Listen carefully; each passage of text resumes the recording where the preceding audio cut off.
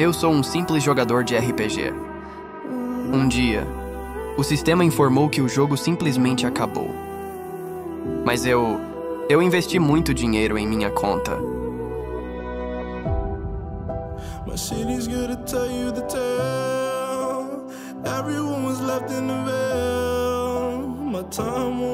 Então ela surgiu e mudou completamente minha vida. Done. Take a look around, a war zone. The damage is already done. Take a look around and keep your guns high. It's a war zone. It's a war zone, and I'll be fighting for my life. So keep your guns high.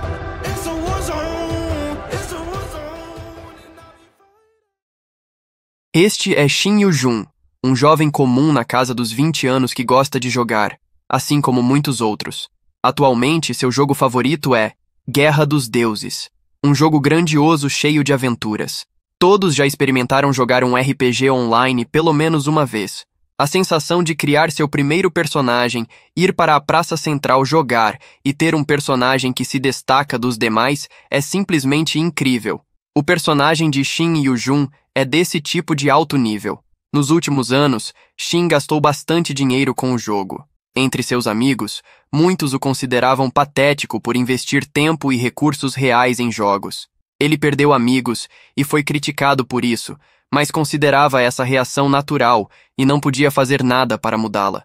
Shin gostava de passar horas no computador jogando, sentindo-se um guerreiro de alto nível que investiu uma quantia considerável de dinheiro. Seu apelido em Guerra dos Deuses é jogador free to play.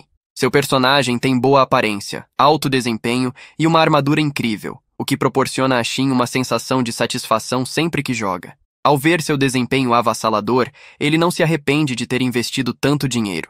O único problema que Shin vê no jogo é o baixo número de jogadores. Geralmente há apenas os mesmos seis online. Mesmo no dia de abertura do servidor, não houve um público muito grande, e ao longo dos dias, esse número diminuiu consideravelmente. Guerra dos Deuses é um RPG de estilo medieval, cujo cenário se passa em uma terra distante repleta de vilarejos, tavernas, castelos, fazendas e, é claro, magia. Por não ser muito popular e por consumir tanto tempo da vida de Shin, ele acabou criando laços com outros usuários do jogo. Eles conversam sobre qualquer coisa, seja relacionada ao jogo ou não. Hoje, Shin chegou atrasado e seus amigos sentiram sua falta. Ele explicou que não tinha dormido bem na noite anterior e acabara de acordar. A usuária, Coelho Rosa Gostosa, perguntou se ele tinha se alimentado direito, e ele respondeu que sim, planejando até pedir comida para entrega mais tarde.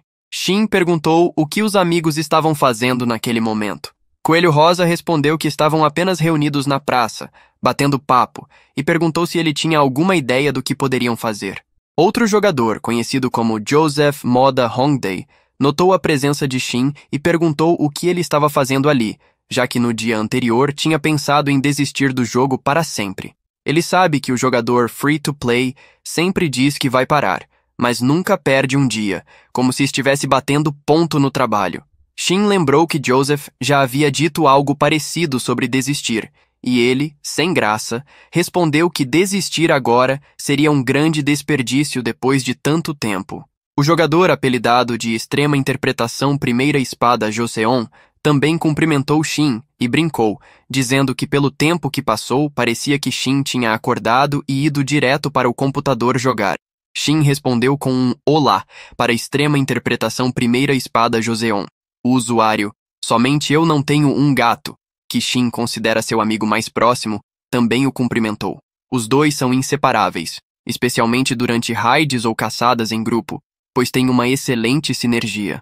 Coelho Rosa perguntou o que poderiam fazer naquele momento, e Joseph sugeriu que, se ela estivesse entediada, poderiam trabalhar um pouco nas raids acumuladas. Coelho Rosa não gostou muito da ideia, pois detesta esse tipo de tarefa, acreditando que foi isso que afastou os jogadores. A dificuldade, segundo ela, é ridícula. Shin lembrou que o servidor nunca teve muitos jogadores e que o jogo nunca foi popular. Joseph concordou, acrescentando que o jogo foi ruim desde o primeiro dia, assim como a gestão. Coelho Rosa sempre achou o equilíbrio do jogo estranho e, inicialmente, ficou impressionada, pensando: Uau, Existe um jogo assim? No entanto, apesar de todos os defeitos, eles continuam jogando dia após dia, como se houvesse uma dissonância cognitiva. Shin mencionou que estão ali justamente por causa da dificuldade, pois é isso que traz a emoção quando conquistam algum objetivo. Primeira espada Joseon concordou, dizendo que se fosse fácil, teria desistido há muito tempo. Ele brincou com Shin sobre o boato de que ele teria ganhado muito dinheiro com Bitcoin ou algo do tipo. Shin, brincando, confirmou, dizendo que sim. Coelho Rosa brincou, dizendo que todos já sabiam, menos ele. Primeira espada Joseon comentou que tinha ouvido falar disso, mas achava que era mentira. Ele nunca imaginou que alguém gastaria centenas de milhões em um jogo tão ruim por isso continua perdendo.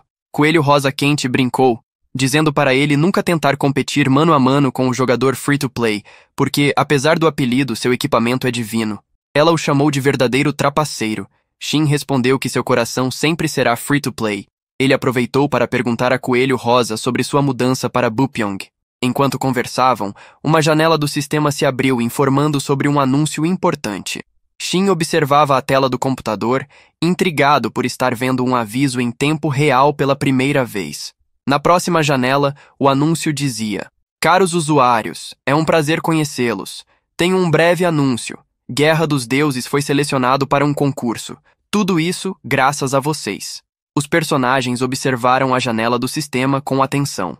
Moda Hongdai perguntou se era realmente o administrador, e o sistema confirmou que sim. Coelho Rosa perguntou se aquilo significava o encerramento do servidor ou algo do tipo, e se eles poderiam continuar jogando. O sistema respondeu que lamentava, mas infelizmente o servidor estava programado para fechar em breve. A reação de indignação e desespero foi unânime. Todos acharam injusto, especialmente pela repentina notícia. Primeira Espada tomou a frente, dizendo que não podiam acabar assim e perguntando o que aconteceria com o jogador free-to-play, que investira o suficiente para comprar vários apartamentos no coração de Seul dentro do jogo. O sistema respondeu que ele não precisava se preocupar, pois os jogadores que compraram conteúdo pago receberiam uma recompensa adequada à sua contribuição. O jogador free-to-play estava frustrado e achava a situação irritante. O sistema também anunciou que haveria uma compensação adequada para todos os usuários que aproveitaram Guerra dos Deuses até então. Primeira Espada perguntou ao administrador sobre os detalhes dessa compensação, considerando o encerramento iminente do servidor. Sem mais respostas, as próximas janelas pop-up do sistema apenas avisaram que o servidor seria fechado em breve, iniciando uma contagem regressiva de 5 minutos. Coelho Rosa, indignada, reclamou que a administração era terrível por encerrar o servidor tão abruptamente. Somente eu não tenho um gato não conseguia acreditar no que estava acontecendo e considerava aquilo uma piada de mau gosto. Shin ficou sem reação olhando para o computador enquanto o sistema anunciava que o servidor fecharia em apenas três minutos. Ele sabia que era inevitável e que todo jogo eventualmente encerrava seus servidores. Tudo tem um fim definido. Não havia motivo para muito desapontamento. Ele refletiu sobre o tempo que dedicara ao jogo, sobre as aventuras com seus amigos, e resignou-se momentaneamente. A janela do sistema anunciou que o servidor seria desligado em 10 segundos. Então, uma voz o chamou para protestar contra a situação. Shin abriu os olhos e encarou a tela. Viu sua personagem de costas, olhando para algo dentro do jogo. Ele se perguntou o que estava acontecendo, pois o tempo havia acabado, mas a janela parecia congelada. Então, a figura de uma mulher apareceu na tela, com o nome Nel sobre ela. Ela vestia um manto branco iluminado por uma forte luz azulada. O nome lhe era familiar. Seria ela uma administradora do jogo? Shin começou a digitar rapidamente, perguntando se ela era uma administradora e o que estava acontecendo. Então, Nel começou a falar. Ela começou expressando sua gratidão pessoal ao jogador free-to-play. Shin, sem entender, perguntou o motivo de tudo aquilo. Nel respondeu que ele, generosamente, apoiou o mundo que ela criou sem hesitar. Shin explicou que não foi exatamente uma doação, mas sim o pagamento por algo que estava usando. Nel disse que isso não importava, pois graças a ele seu trabalho atingiu as qualificações mínimas para participar de um concurso. Shin perguntou então sobre qual concurso se tratava, pois acabara de pesquisar na internet e não encontrou nenhum concurso de jogos acontecendo naquele momento. Nel respondeu que não poderia divulgar os detalhes naquele momento, mas devido à ajuda do jogador free-to-play, ela considerava oferecer mais do que uma simples recompensa, um verdadeiro privilégio especial. Shin rapidamente digitou, perguntando sobre qual seria esse privilégio, mas Nel não explicou. Apenas disse para ele aproveitar o prazer de receber e descobrir o privilégio especial por conta própria. Ela acrescentou algo importante, olhando diretamente para ele através da tela. Indicou que ele aceitasse o que aconteceria naquele momento, independentemente do que fosse, e que tentasse não parecer suspeito, pois isso seria útil para sua sobrevivência. Então, o monitor simplesmente desligou. Tenso, Shin encarou o monitor desligado, pensando no que acabara de acontecer, considerando que havia feito contato visual com aquela mulher. Relaxou na cadeira e afastou a ideia da cabeça, concluindo que não era possível. No entanto, questionou por que o monitor havia desligado. Então, algo surpreendente ocorreu. Uma janela do sistema abriu bem diante de Shin, além da tela do seu computador aparentemente desligada. Nela dizia que uma mudança aconteceria naquele momento e para que ele se preparasse para o impacto. O ambiente ao seu redor começou a girar. Sentiu medo, sem entender o que estava acontecendo. Sua cabeça começou a ficar estranha até que ele se encontrou em um ambiente completamente escuro e vazio. Uma nova janela flutuante se abriu sobre sua cabeça, criando suspense sobre qual seria a recompensa que Shin acabara de receber. Logo abaixo, outra janela avisava que Shin Yujin agora possuía todo o inventário do jogador free-to-play e que isso estava sendo vinculado à sua alma e sincronizado. Faltavam exatamente cinco anos, oito dias, cinco horas e 32 minutos para a sincronização completa. Agora, o jogo Guerra dos Deuses realmente começaria. No divino, uma dimensão oculta e separada da Terra, erguia-se o majestoso Palácio Ortini, lar dos deuses menores. As paredes brilhantes e os corredores sinuosos exalavam um poder ancestral. Naquele dia, a atmosfera estava carregada de antecipação, pois um evento grandioso estava prestes a acontecer a divulgação dos resultados da Guerra dos Deuses. Todos os habitantes olhavam ansiosos para o céu, onde uma imensa janela flutuante de luz começava a se formar, seus brilhos celestiais cintilando como estrelas. O silêncio caiu sobre a multidão à medida que os nomes começaram a aparecer. Quando o resultado foi finalmente revelado, um murmúrio de espanto e descrença percorreu os presentes. Nel, uma deusa de sétima classe, havia conquistado o primeiro lugar na Guerra dos Deuses. Os olhos de todos se voltaram para Nel. Entre sussurros de surpresa e inveja, Muitos questionavam como uma deusa desconhecida havia superado deuses de tão alto escalão. Cada vitória na Guerra dos Deuses trazia benefícios inimagináveis, e Nel estava prestes a descobrir o que isso significava. A euforia em seu coração pulsava junto com a descrença, pois ela sabia que sua vitória tinha uma história mais profunda. Uma história que envolvia Shin Yu-jun, um gamer cujo nome verdadeiro era pouco conhecido no Reino Divino. A Guerra dos Deuses, organizada apressadamente, havia sido um desastre. A má gestão e o alto nível de dificuldade afastaram muitos deuses, tornando quase impossível para eles obterem poder divino.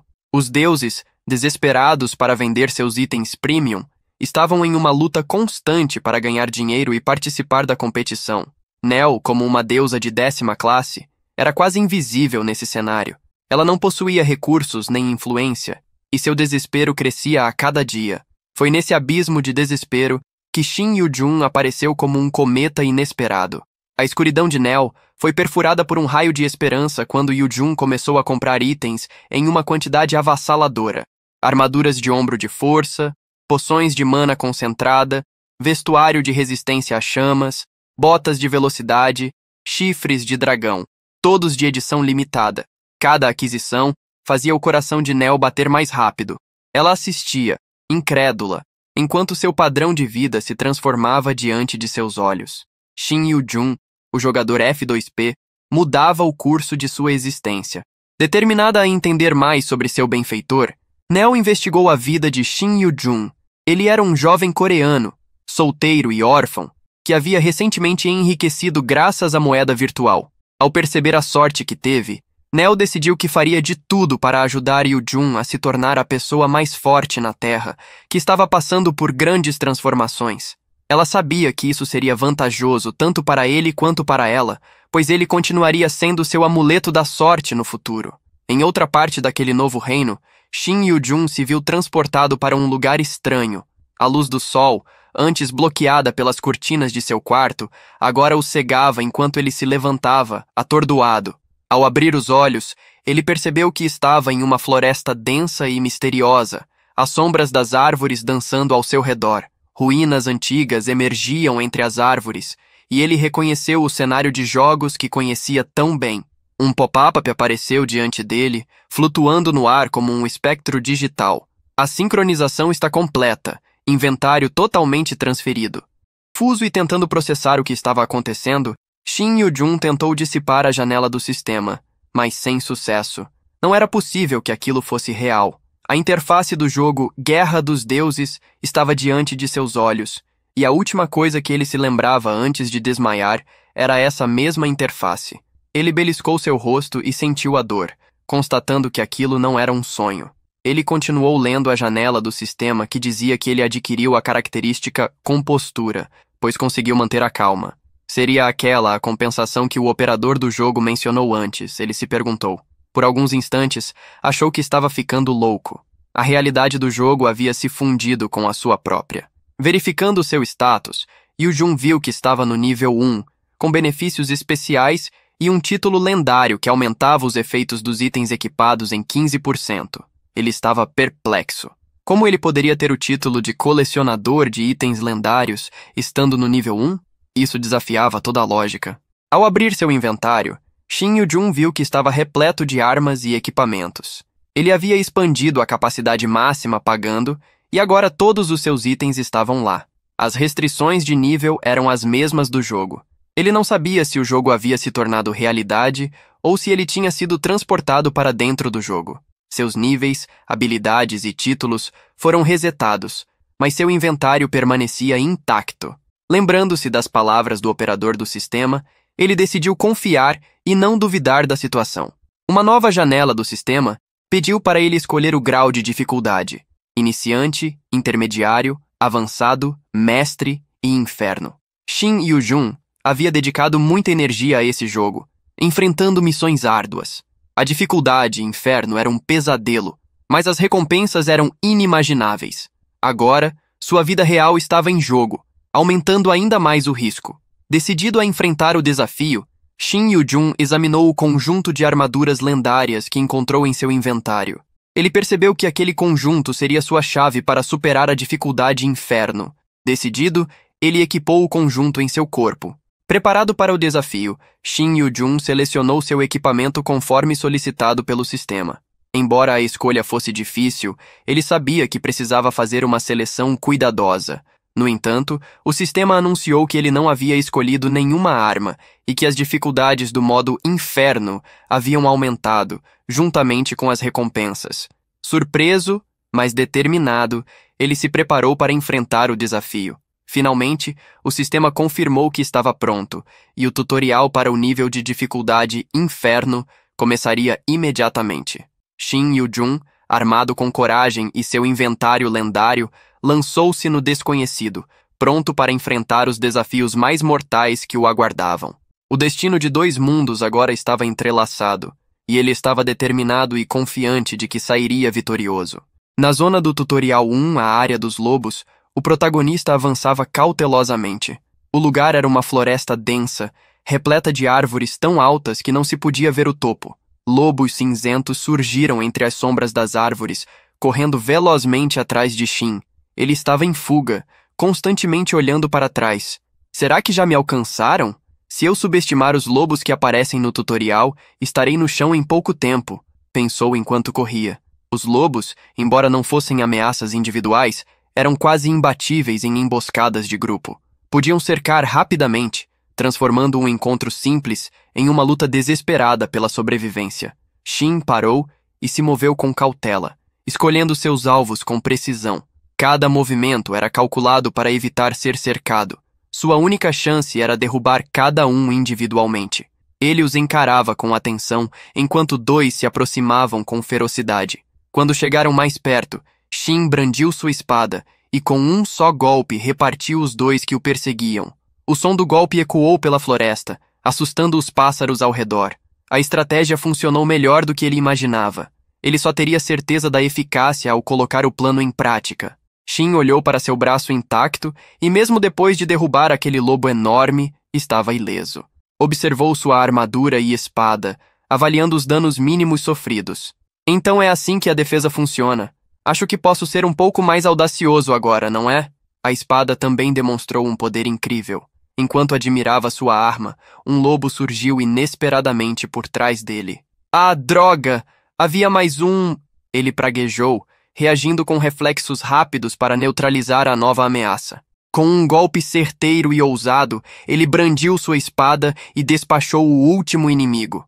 Só se ouviu o som do aço contra a pele do lobo, que caiu pesadamente no chão.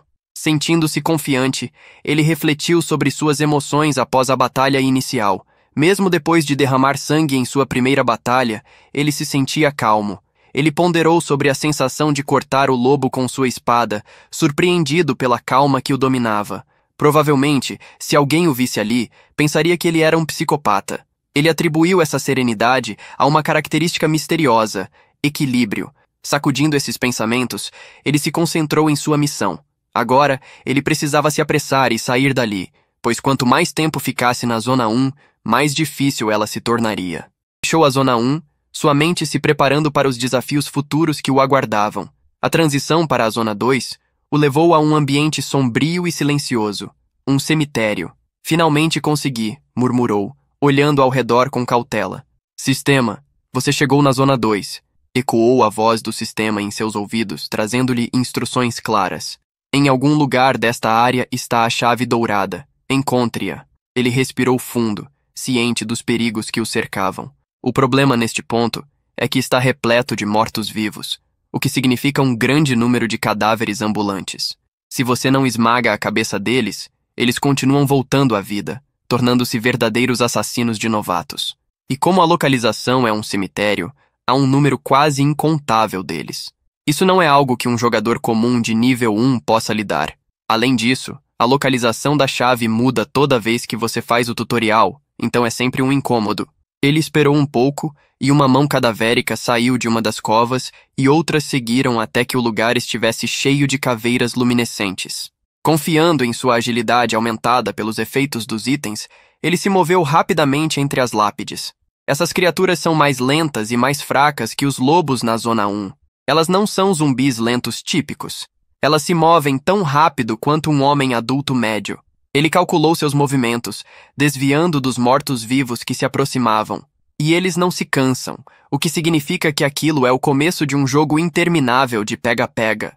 Determinado a evitar confrontos desnecessários, ele se concentrou em seu objetivo, que era limpar os que bloqueavam seu caminho enquanto se movia. Após uma busca intensa, encontrou a chave estrategicamente escondida em uma lápide, assim como no jogo. Ele destruiu a lápide provocando uma grande explosão e pegou a chave.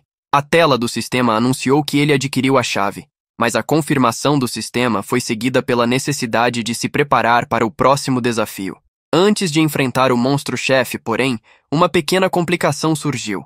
Uma horda de mortos-vivos pulou em cima dele com ferocidade. Eles vinham de todos os lados. Ele percebeu que os mortos-vivos estavam sujando sua armadura.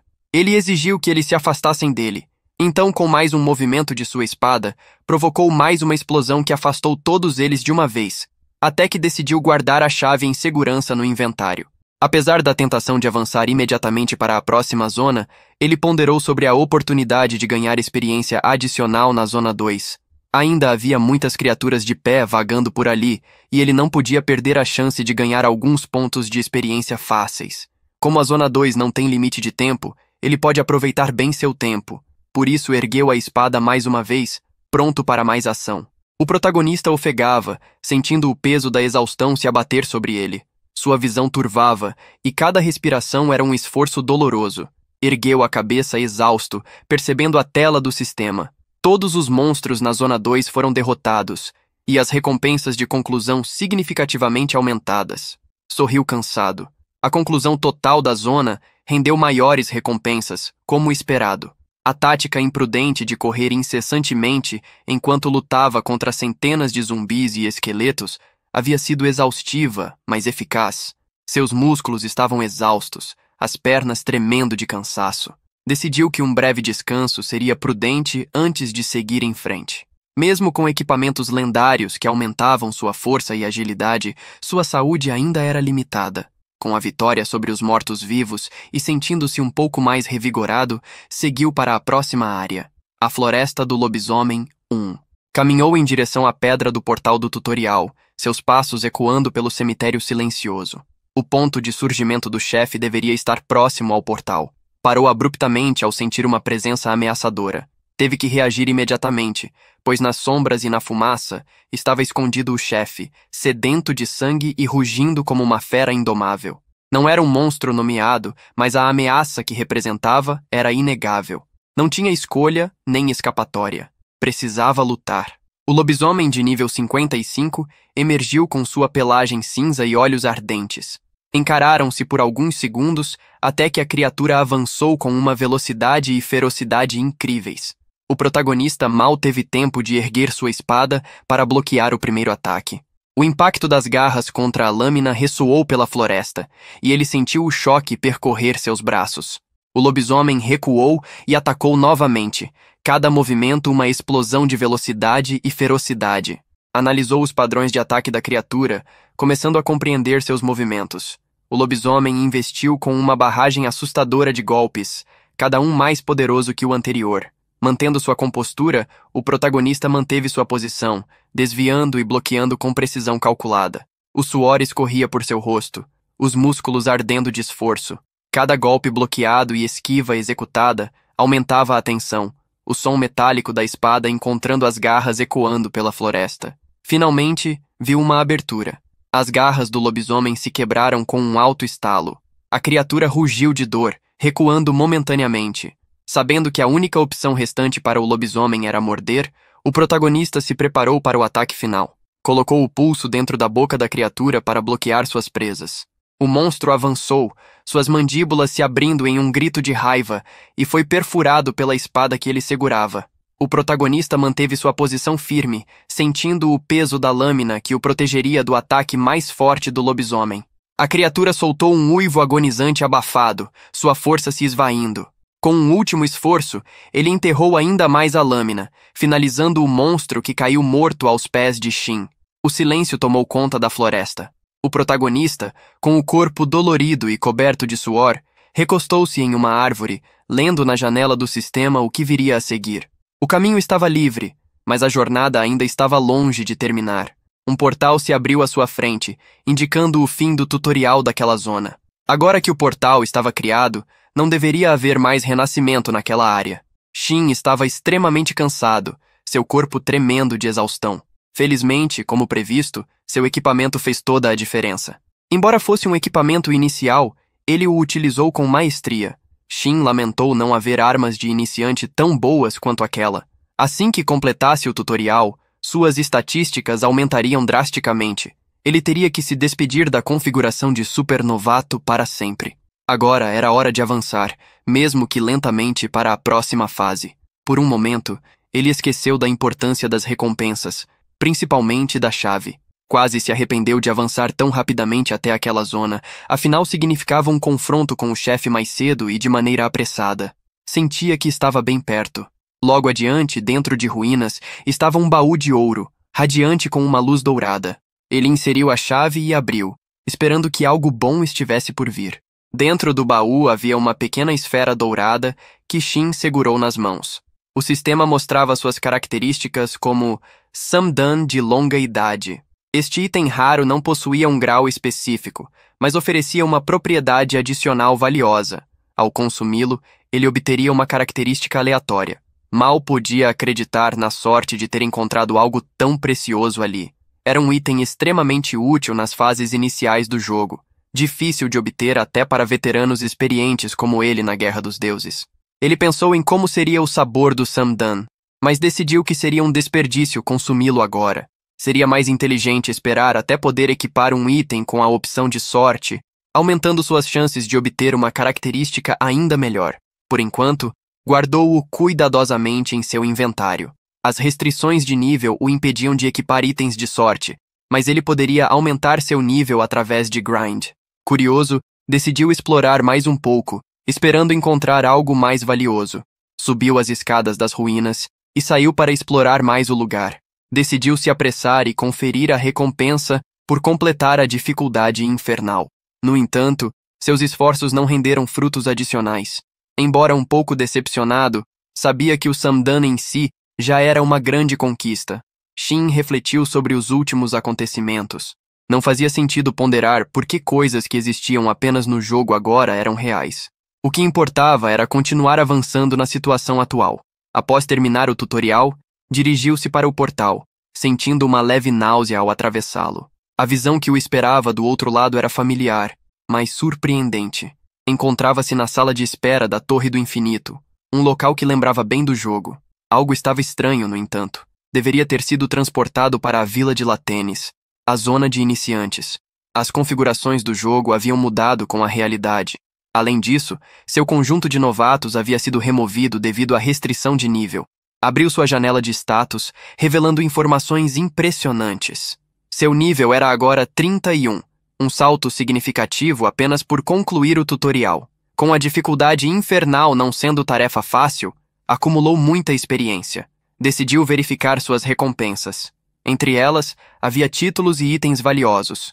Um título chamado Desbravador aumentava a experiência em 5%, enquanto o outro, Conquistador do Tutorial, aumentava todas as suas estatísticas em 7 pontos. Esses aumentos eram inestimáveis para ele no momento. Mas a verdadeira joia das recompensas era uma caixa de itens lendários, um item ultra raro que permitia selecionar e obter qualquer item lendário desejado. Lembrou-se do valor monetário desses itens no jogo, mas agora a prioridade era sobreviver e prosperar neste novo mundo. Ele sabia que, mesmo se abrisse a caixa e obtivesse um equipamento lendário, não poderia usá-lo devido à restrição de nível. Seu inventário já estava cheio de equipamentos lendários, e a resposta era clara. Ele precisava de um adesivo arco-íris. Esse item, sem grau específico, reduzia o requisito de nível para equipar um item em 100 níveis. Sem hesitar, decidiu usá-lo imediatamente, aplicando-o a uma arma de nível 130, a espada longa de Koihem. Segurando a espada, sentiu uma onda de poder percorrer seu corpo. Mesmo entre equipamentos lendários, a espada longa de Koihem era significativamente superior à sua antiga espada. A diferença estava no requisito de nível para equipá-la, destacando a importância do nível no jogo. Para sua segurança, precisava aumentar seu nível até um ponto seguro, onde pudesse enfrentar os desafios que viriam. Ele sabia que este mundo era uma reprodução do mundo de War of the Gods. Iniciantes com níveis baixos não teriam chances de sobreviver no futuro próximo. O mundo era implacável, com poucos veteranos sobrevivendo devido à extrema dificuldade do jogo. O protagonista, então, aparece na área residencial para jogadores abaixo do nível 100, na Torre do Infinito. Ao caminhar, percebe a falta de pessoas no lugar. Isto. um beco sem saída? Acho que fui invocado para um lugar sem pessoas por perto, diz Jun, olhando para os lados enquanto anda, e escuta vozes de pessoas vindo do outro lado do beco. Ele pensa que pode reunir algumas informações primeiro e se aproxima da multidão. Espere um minuto, alguma coisa está errada. O que é? Diz percebendo que todos parecem estar bem avançados, pensando que deveriam ter acabado de terminar o tutorial. Ele nota todos eles com equipamentos muito avançados. Faz sentido eles terem equipamentos desse nível? Além disso, todos parecem ser de nível bastante alto também? Ele pensa, extremamente surpreso com suas roupas e armaduras. Mesmo que ele tenha passado um bom tempo na dificuldade infernal, deveria ser apenas um ou dois dias no máximo.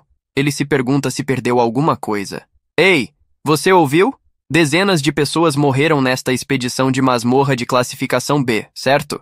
Diz um homem com armadura prateada a uma mulher de cabelos brancos e roupas azuis com uma armadura vermelha continuando a dizer que aparentemente apenas os membros principais e os associados próximos da guilda que organizou a expedição sobreviveram e que provavelmente traíram os outros membros e fugiram, inventando depois desculpas sobre como tiveram sorte de sobreviver. De qualquer forma, para aqueles que têm mais, as coisas só pioram, sabe? O homem diz que não há ninguém para interrogar, mesmo que seja mentira, pois eles são os mais fortes da região.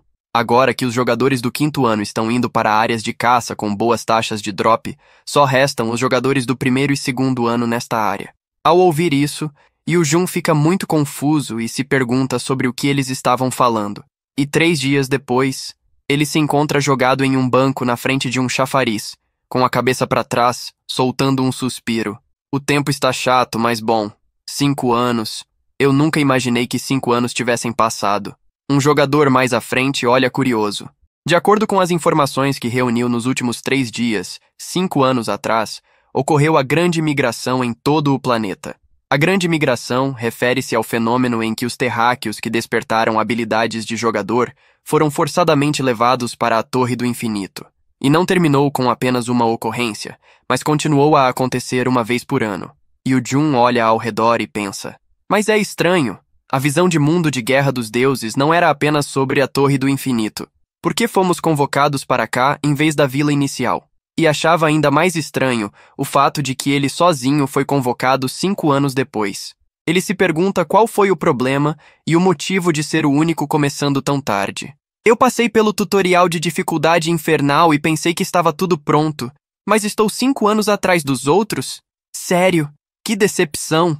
Nosso protagonista se levanta então, cerrando o punho em determinação, pois não é do feitio dele ficar triste assim, e decide pensar positivamente.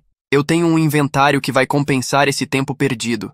Se eu listar o que preciso fazer, ele diz, e pensa que o primeiro passo é obviamente subir de nível, o segundo é descobrir sobre o tutorial intermediário, e o terceiro é atingir o nível 50, pois uma vez que você atinja o nível 50, pode equipar acessórios e ficar mais forte rapidamente.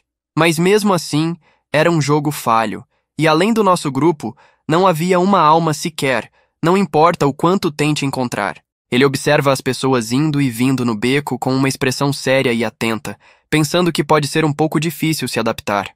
Não apenas o mundo mudou tão repentinamente assim, é bom que eu fosse um veterano da Guerra dos Deuses. Caso contrário, teria sido difícil me adaptar. Ele pensa ainda sério e cruza os braços, pensando sobre a maioria das informações que obteve enquanto jogava o jogo e enquanto percorria a área residencial correspondente. Ele não esperava começar nesse lugar, mas dizem que as informações do dungeon e os nomes e efeitos das habilidades são os mesmos. E o Jun pensa sobre tudo isso ao entrar em um estabelecimento. Vocês servem comida aqui? Ele então pede uma porção de melão e um bife de off-stick, sentando-se à mesa para comer e lembrando quando ele foi até um negociador entregando um simples par de botas. Outra diferença do jogo é o preço dos itens, eu acho. Eu vendi um equipamento inútil e consegui 50 mil pontos. Então o senhor, ao ver o objeto que o protagonista colocou sobre a bancada, ficou boquiaberto. Incrível! Isso vale muito! E o Jun, então, após vender o par de botas, não precisará se preocupar com despesas de comida e hospedagem por um tempo. O item que vendi era um item de grau heróico que sobrou no meu inventário. O nome parece impressionante, mas era um uniforme escolar de nível médio-baixo que qualquer um poderia obter. Ele pensa, mas ainda ouve as pessoas dizerem que itens de grau heróico são raros. Qualquer coisa acima disso está fora de estoque e nem pode ser comprada. Ele reflete se faz sentido pensar sobre isso enquanto espera seu bife com o garfo. E esta é a realidade. Se você for a uma masmorra perigosa imprudentemente esperando conseguir itens, não terá nenhuma loja de dinheiro em espécie. Isso é uma vantagem que apenas eu tenho com vários itens da loja virtuosa. Tudo bem. E o Jun bate levemente na mesa com o garfo e se levanta. Eu comi e comprei poções de baixa qualidade também. Seria um desperdício usar as poções caras do meu inventário em níveis baixos. Ele pensa, olhando seu inventário enquanto equipa sua armadura prateada com tecidos azuis e verdes e sua espada com bainha vermelha ajustada em sua cintura e ajeita suas luvas.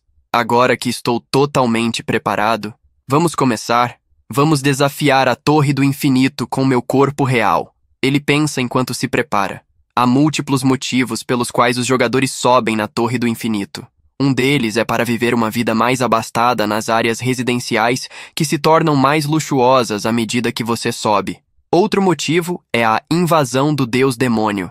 Se ninguém conseguir chegar ao topo da torre dentro de 15 anos, a invasão do deus demônio começará.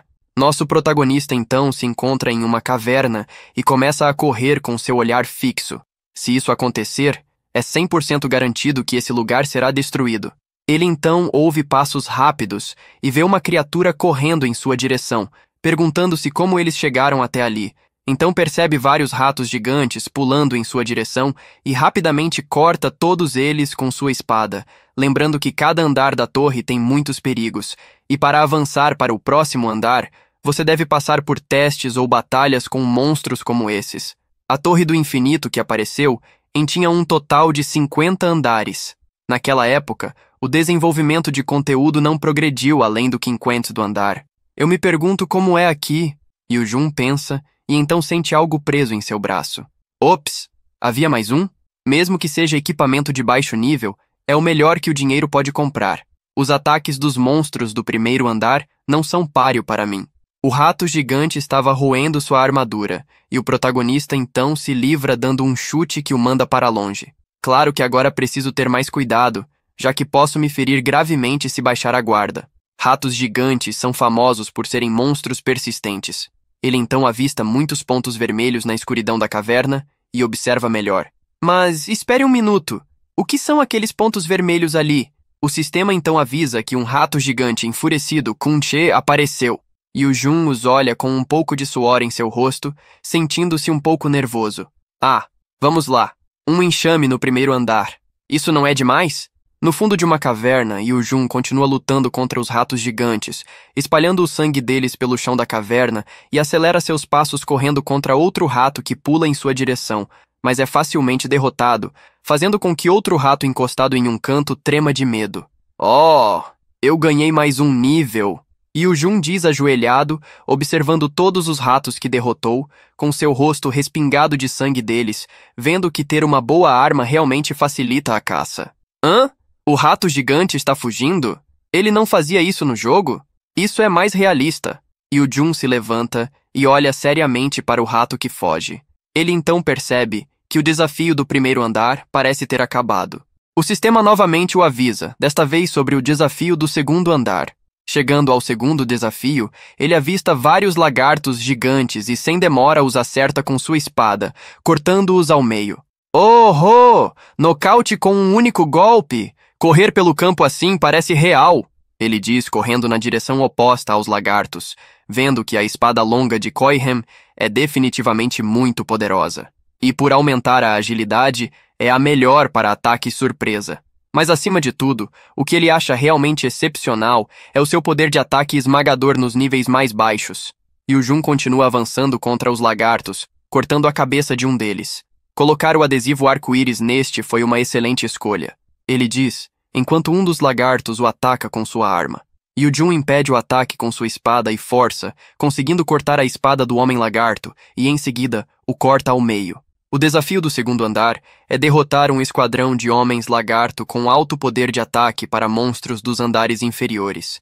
Mas esse nível de poder não pode bloquear a espada longa de Koihen. É uma pena que a armadura seja de baixo nível. É raro que os desafiantes dos andares inferiores estejam totalmente equipados com armadura, pois geralmente as pessoas costumam usar apenas armadura e botas ao desafiarem este lugar. E o Jun ainda não decide sair do segundo andar, pensando se deve procurar os homens lagarto escondidos, mas o sistema o avisa sobre a prova do terceiro andar, e ele logo segue para o próximo desafio. O protagonista, então, é transportado para um bosque com árvores grandes. Finalmente, o terceiro andar, ele diz para si mesmo enquanto caminha pelo lugar. Antes de desafiar o julgamento do terceiro andar, há um lugar que Yu Jun acha necessário visitar. Uma masmorra oculta com uma recompensa enorme. Como comecei vários anos atrasado, preciso ter certeza de que irei limpar todas as masmorras escondidas. Espero sinceramente que ninguém mais tenha descoberto isso ainda. Ele descobriu a masmorra escondida do terceiro andar cerca de quatro anos atrás.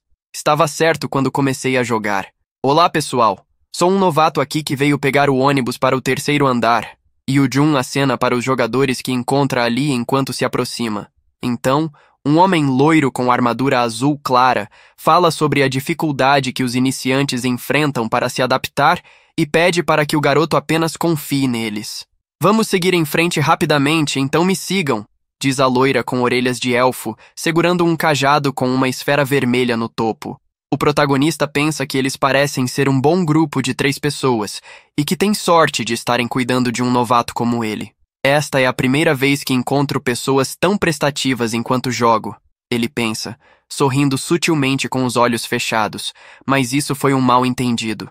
O sistema então o avisa: Você foi expulso do grupo. E o Jun arregala os olhos e move seu olhar para baixo. Hein? Hum? Morto com um só golpe? E o Jun, boquiaberto, percebe que tem uma espada enfiada em seu peito. O homem o havia atacado, e logo o mesmo diz com um sorriso malicioso: De qualquer forma, você é ingênuo ou apenas estúpido? O homem loiro então disse: Nós oferecemos gentileza a você, um estranho, sem nem mesmo pedir dinheiro, e você simplesmente nos seguiu cegamente? A mulher ri dele, zombando que ele deve estar querendo ser roubado. E o Jun confuso pensa seriamente e se pergunta o motivo de terem o enganado. Eles não estariam atrás do seu dinheiro, já que seu equipamento era para iniciantes. Eles eram apenas pessoas maldosas que gostavam de atormentar os fracos. Ele então acelera os passos, se afastando do grupo, e enquanto luta para fugir, felizmente avista a entrada de uma masmorra escondida por vinhas, pensando que teve muita sorte em encontrá-la. Graças àquela experiência ruim na época, começou a gastar dinheiro no jogo, então pensa que talvez deva agradecer aos idiotas que encontrou. Vamos ver. Tenho certeza que era por aqui. Tenho certeza de que este é o lugar. Onde está a entrada?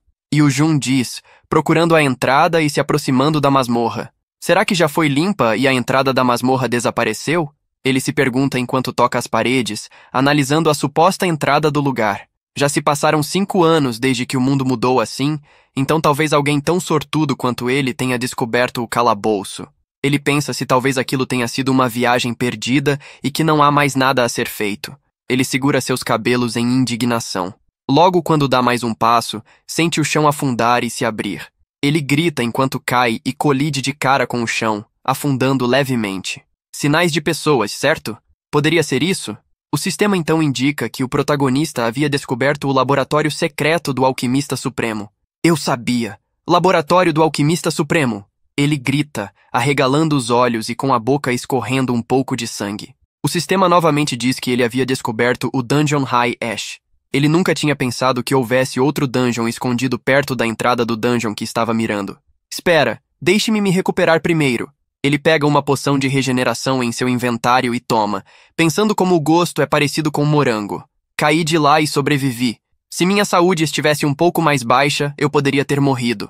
Ele olha para cima, observando o grande buraco por onde acabara de cair. Ele já havia visto muitos dungeons relacionados a estudos de feiticeiros ou laboratórios, mas esta é a primeira vez que encontra um relacionado a um alquimista.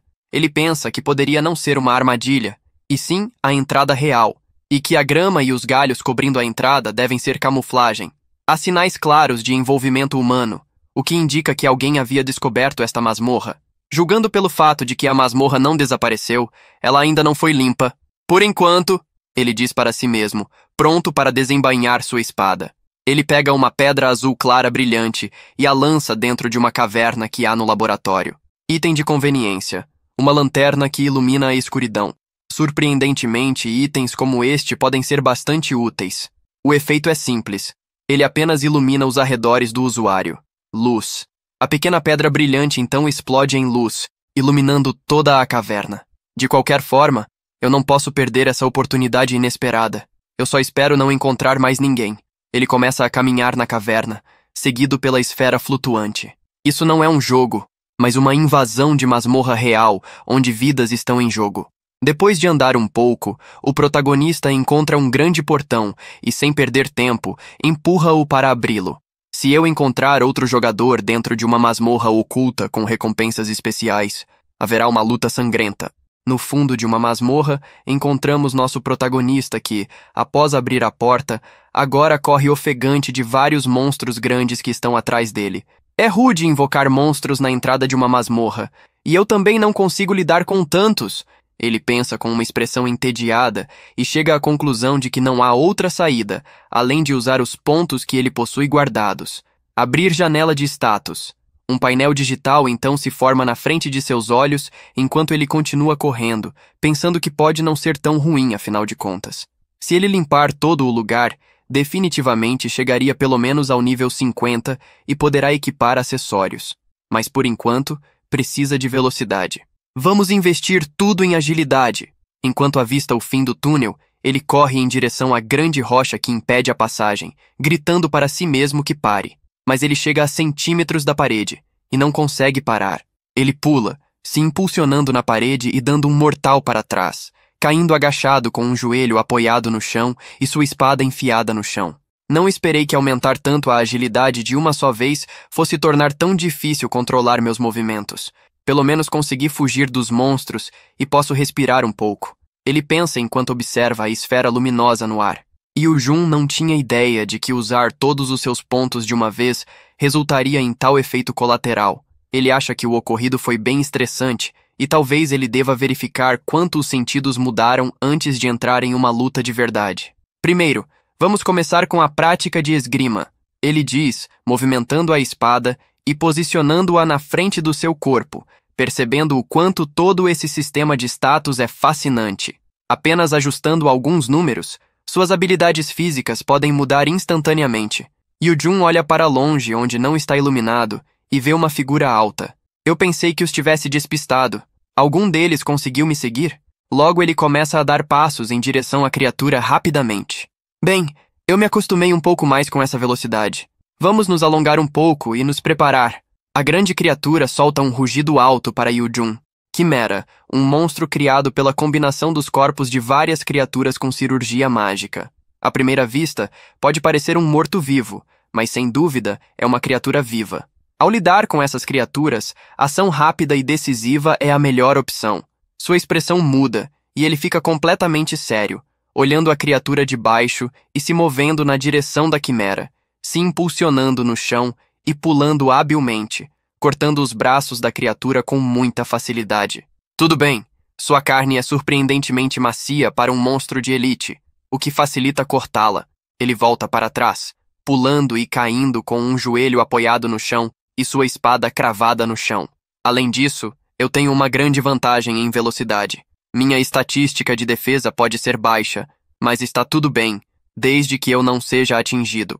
Determinado, ele se impulsiona, afundando o chão e pulando em direção à criatura novamente, gritando: Vamos terminar isso!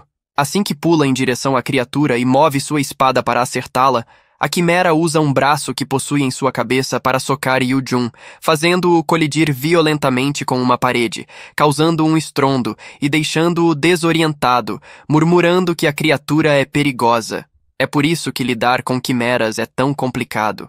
Ela possui as habilidades exatas das criaturas das quais é composta. Braços elásticos? Que tipo de criatura eles anexaram a essa coisa? A criatura novamente move o braço elástico em sua cabeça na direção de Yu-Jun, que se agacha para se esquivar. Droga! Eu apenas aumentei minhas estatísticas, não posso apenas continuar desviando. Vendo os golpes da criatura vindo em sua direção, ele decide que está na hora de lutar e percebe que não consegue cortar o braço elástico, que parece ser feito de borracha devido à sua resistência.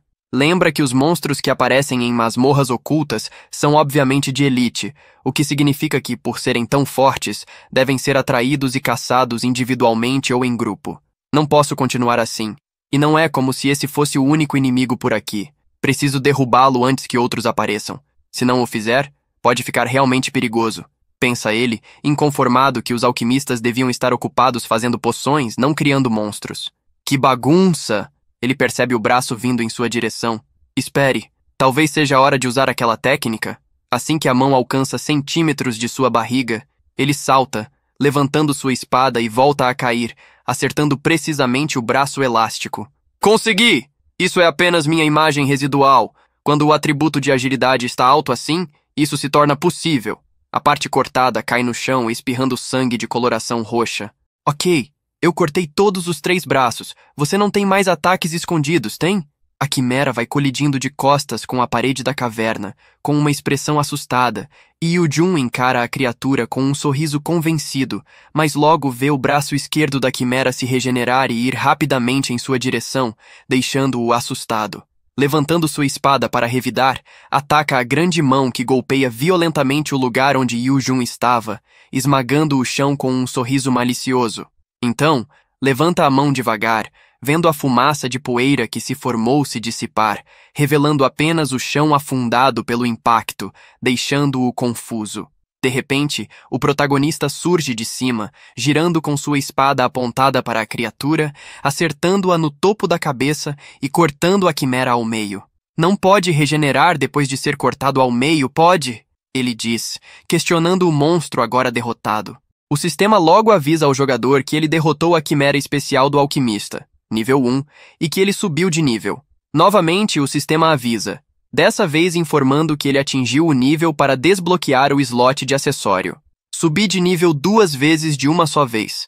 Dungeons escondidas realmente são incríveis para ganhar experiência. Atingir o nível 50 apenas três dias após o tutorial é bastante rápido em comparação com os personagens que criei no passado. Mas não tenho muitos acessórios para personagens de baixo nível, tenho? Ele abre seu inventário e pensa em equipar alguns acessórios. Devo equipar o anel VIP 4 que mantive como um item premium? E quanto ao conjunto de pulseira e colar raros? Ele observa as informações sobre cada acessório e, vendo que possui equipamentos novos, sente-se determinado a enfrentar as dificuldades do jogo e grita agitado: Huff, Huff, finalmente acabou. Malditas quimeras. Suas taxas de drop são horríveis aqui, assim como no jogo. Ele retira mais uma poção de cura e a toma recuperando sua vida. Então, observa a chimera atentamente. Pelo menos lidei com os monstros por enquanto. A propósito, o que é isso? A parede no final parece suspeita. Eu verifiquei e parece que há algo por trás dela. Ele encontra uma garota loira de cabelos curtos e capa laranja desmaiada, com os pulsos amarrados às suas costas. Então se aproximou dela. Bem, se não é um NPC, pode ser outro jogador que descobriu este dungeon primeiro. Mas por que ela estaria presa em um lugar escondido como este? Não posso ajudá-la sem um entendimento claro da situação. Oh, sim, tem um item para isso, não tem? Ele abriu seu inventário e pegou um item, retirando um pergaminho. Esta opção permite verificar o status de um alvo, mas não pode ser usada se o alvo estiver muito distante ou for de um nível mais alto. É um item premium que custa 5 mil won cada, mas é útil. Ele abriu o pergaminho, que emitia uma luz azul, e direcionou a luz para a garota desmaiada. Outros jogadores não podem mais conseguir esse item, pois a loja Premium foi fechada, mas meu inventário tem estoque suficiente.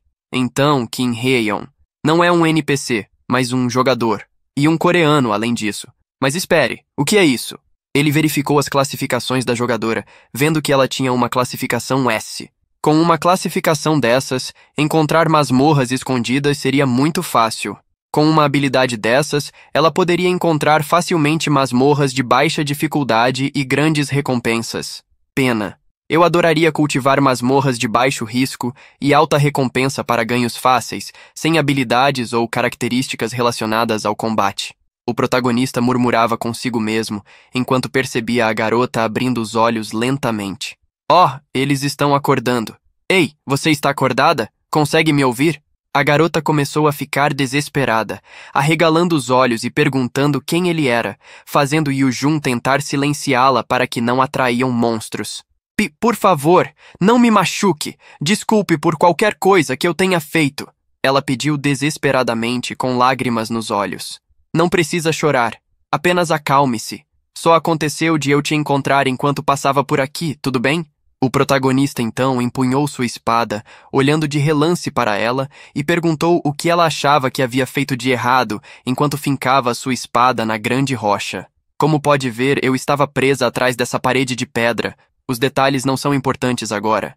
Ela então pede suavemente para que a desamarre. Ah, nada aqui, ele diz, e a garota questiona: O que você está procurando? E o Jun responde que está procurando por um item oculto que em lugares como este geralmente está escondido.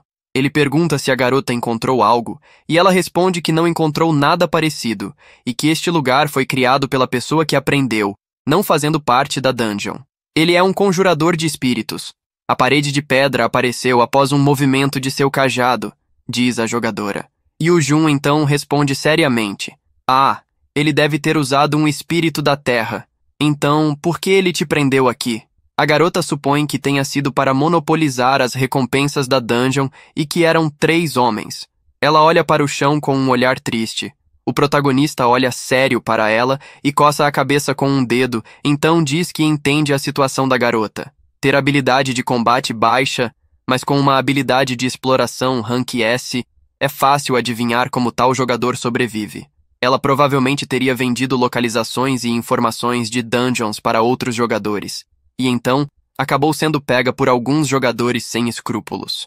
A Torre da Infinidade é sem lei, e muitos jogadores se envolvem em atividades maliciosas. Os fortes fazem as regras. Dado que eles te mantiveram viva, eles provavelmente planejaram te vender como escrava ou te usar para mais explorações de dungeons, ele diz, enquanto a garota derrama lágrimas. Ele pensa sobre como adoraria ter a habilidade de busca de dungeons de King Hion, mas encontrar a garota assim poderia ser o destino. Logo, ele decide fazer amizade com ela e com pessoas que têm habilidades que ele não tem. Afinal, o objetivo de jogar em grupo é ajudar uns aos outros.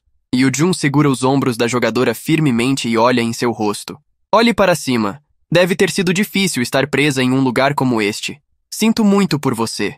Então deixe-me ajudá-la, ele diz, dando um sorriso com os olhos brilhando e estendendo a mão direita pensando sobre o sorriso de vendedor que está dando à garota.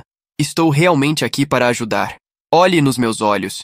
Veja como eles são claros e brilhantes. Você pode confiar em alguém com olhos assim, ele diz, tentando ser o mais convincente possível.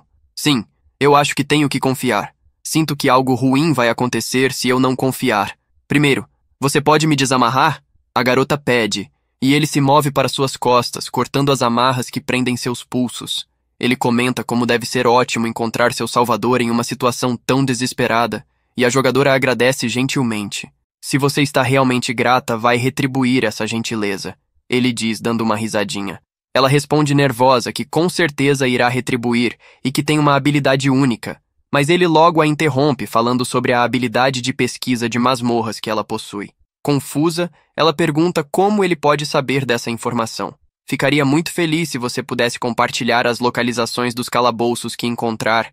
Quanto mais alto o nível, melhor. E o Jun pede, ainda com seu sorriso no rosto. A garota concorda e pergunta novamente como ele sabe sobre a habilidade dela. Ele diz para ela não se preocupar com isso e que a razão pela qual ele está ajudando é porque ambos são coreanos, então é certo que devem se unir e se ajudar. Ah, sim, é bom ser coreano, eu acho. Finalmente conseguem abrir uma passagem na parede e a jogadora passa para o outro lado. O protagonista decide então ouvir a parte dela da história, sobre como ela foi parar naquele lugar. Ah, eu acho que esqueci de me apresentar.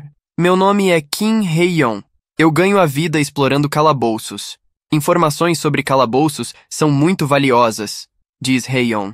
E o Jun muda sua expressão para uma mais séria, perguntando: você se meteu em encrenca por vender localizações de calabouços para pessoas suspeitas? Ela aponta para uma parede onde há um caminho logo atrás e explica que os homens que a pegaram eram bem meticulosos. Ela ouviu dizer que a seguiram depois de ouvirem sobre sua reputação. E o Jun não demora em usar sua espada para quebrar a parede, revelando uma passagem.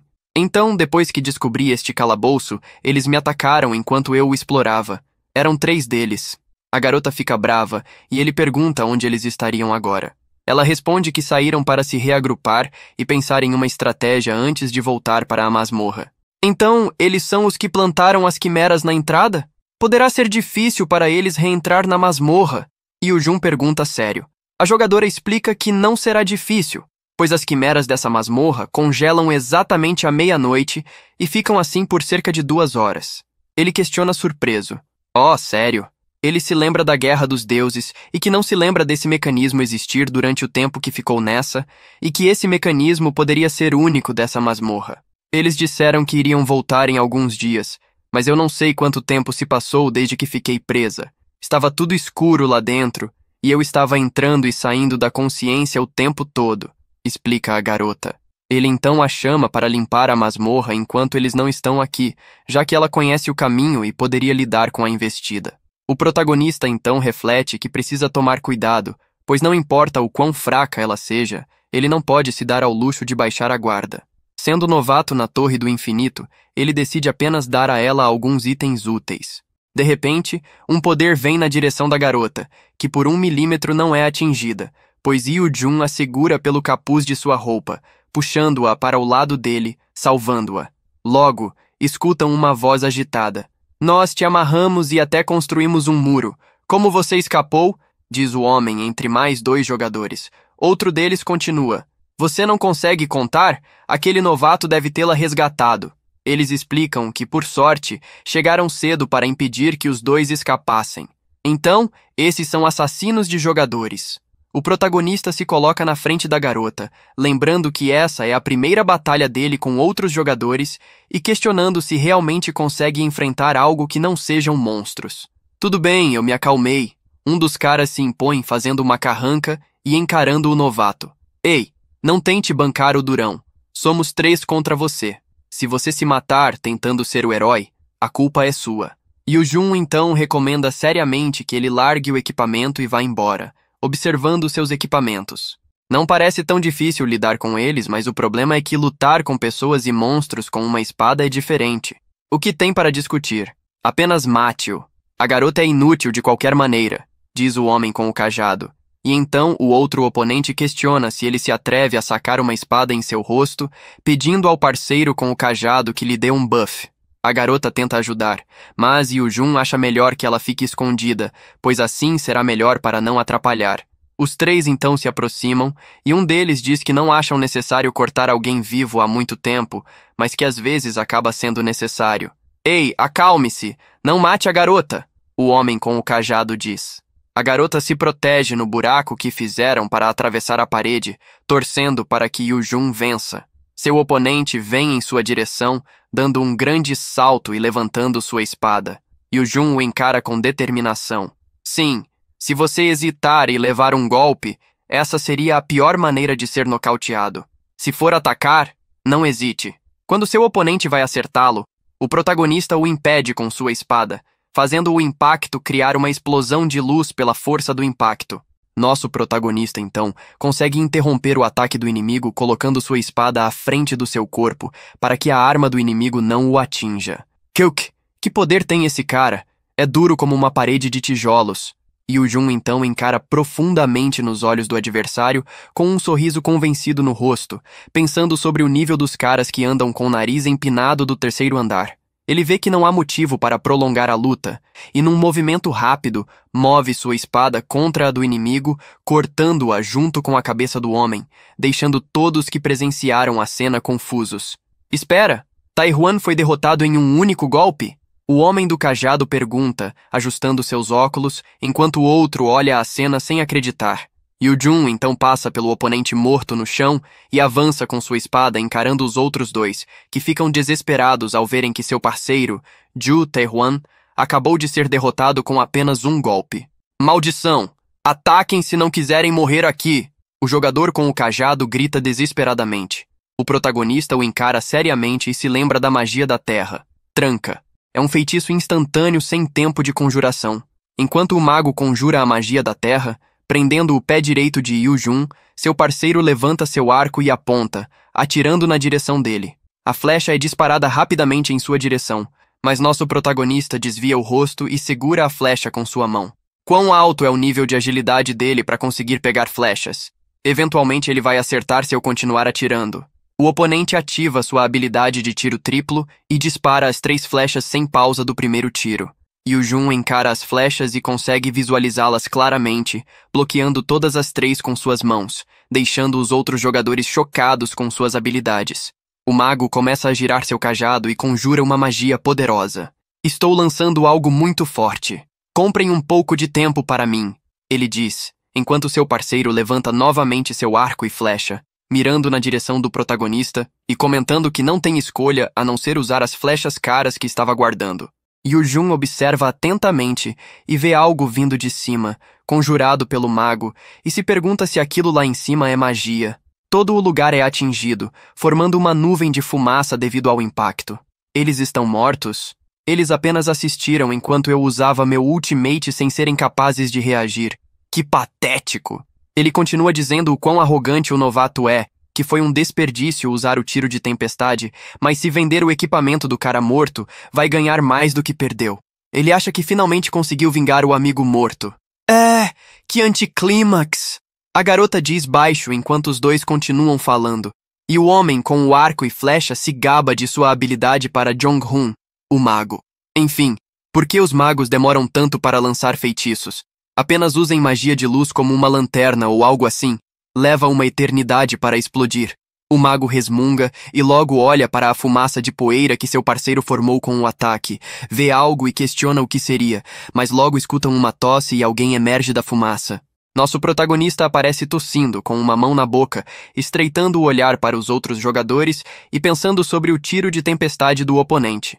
Ele não imaginava que usaria essa habilidade em um lugar tão estreito, e se ele não tivesse reagido, teria sido atingido, mas não teria sido o suficiente para matá-lo.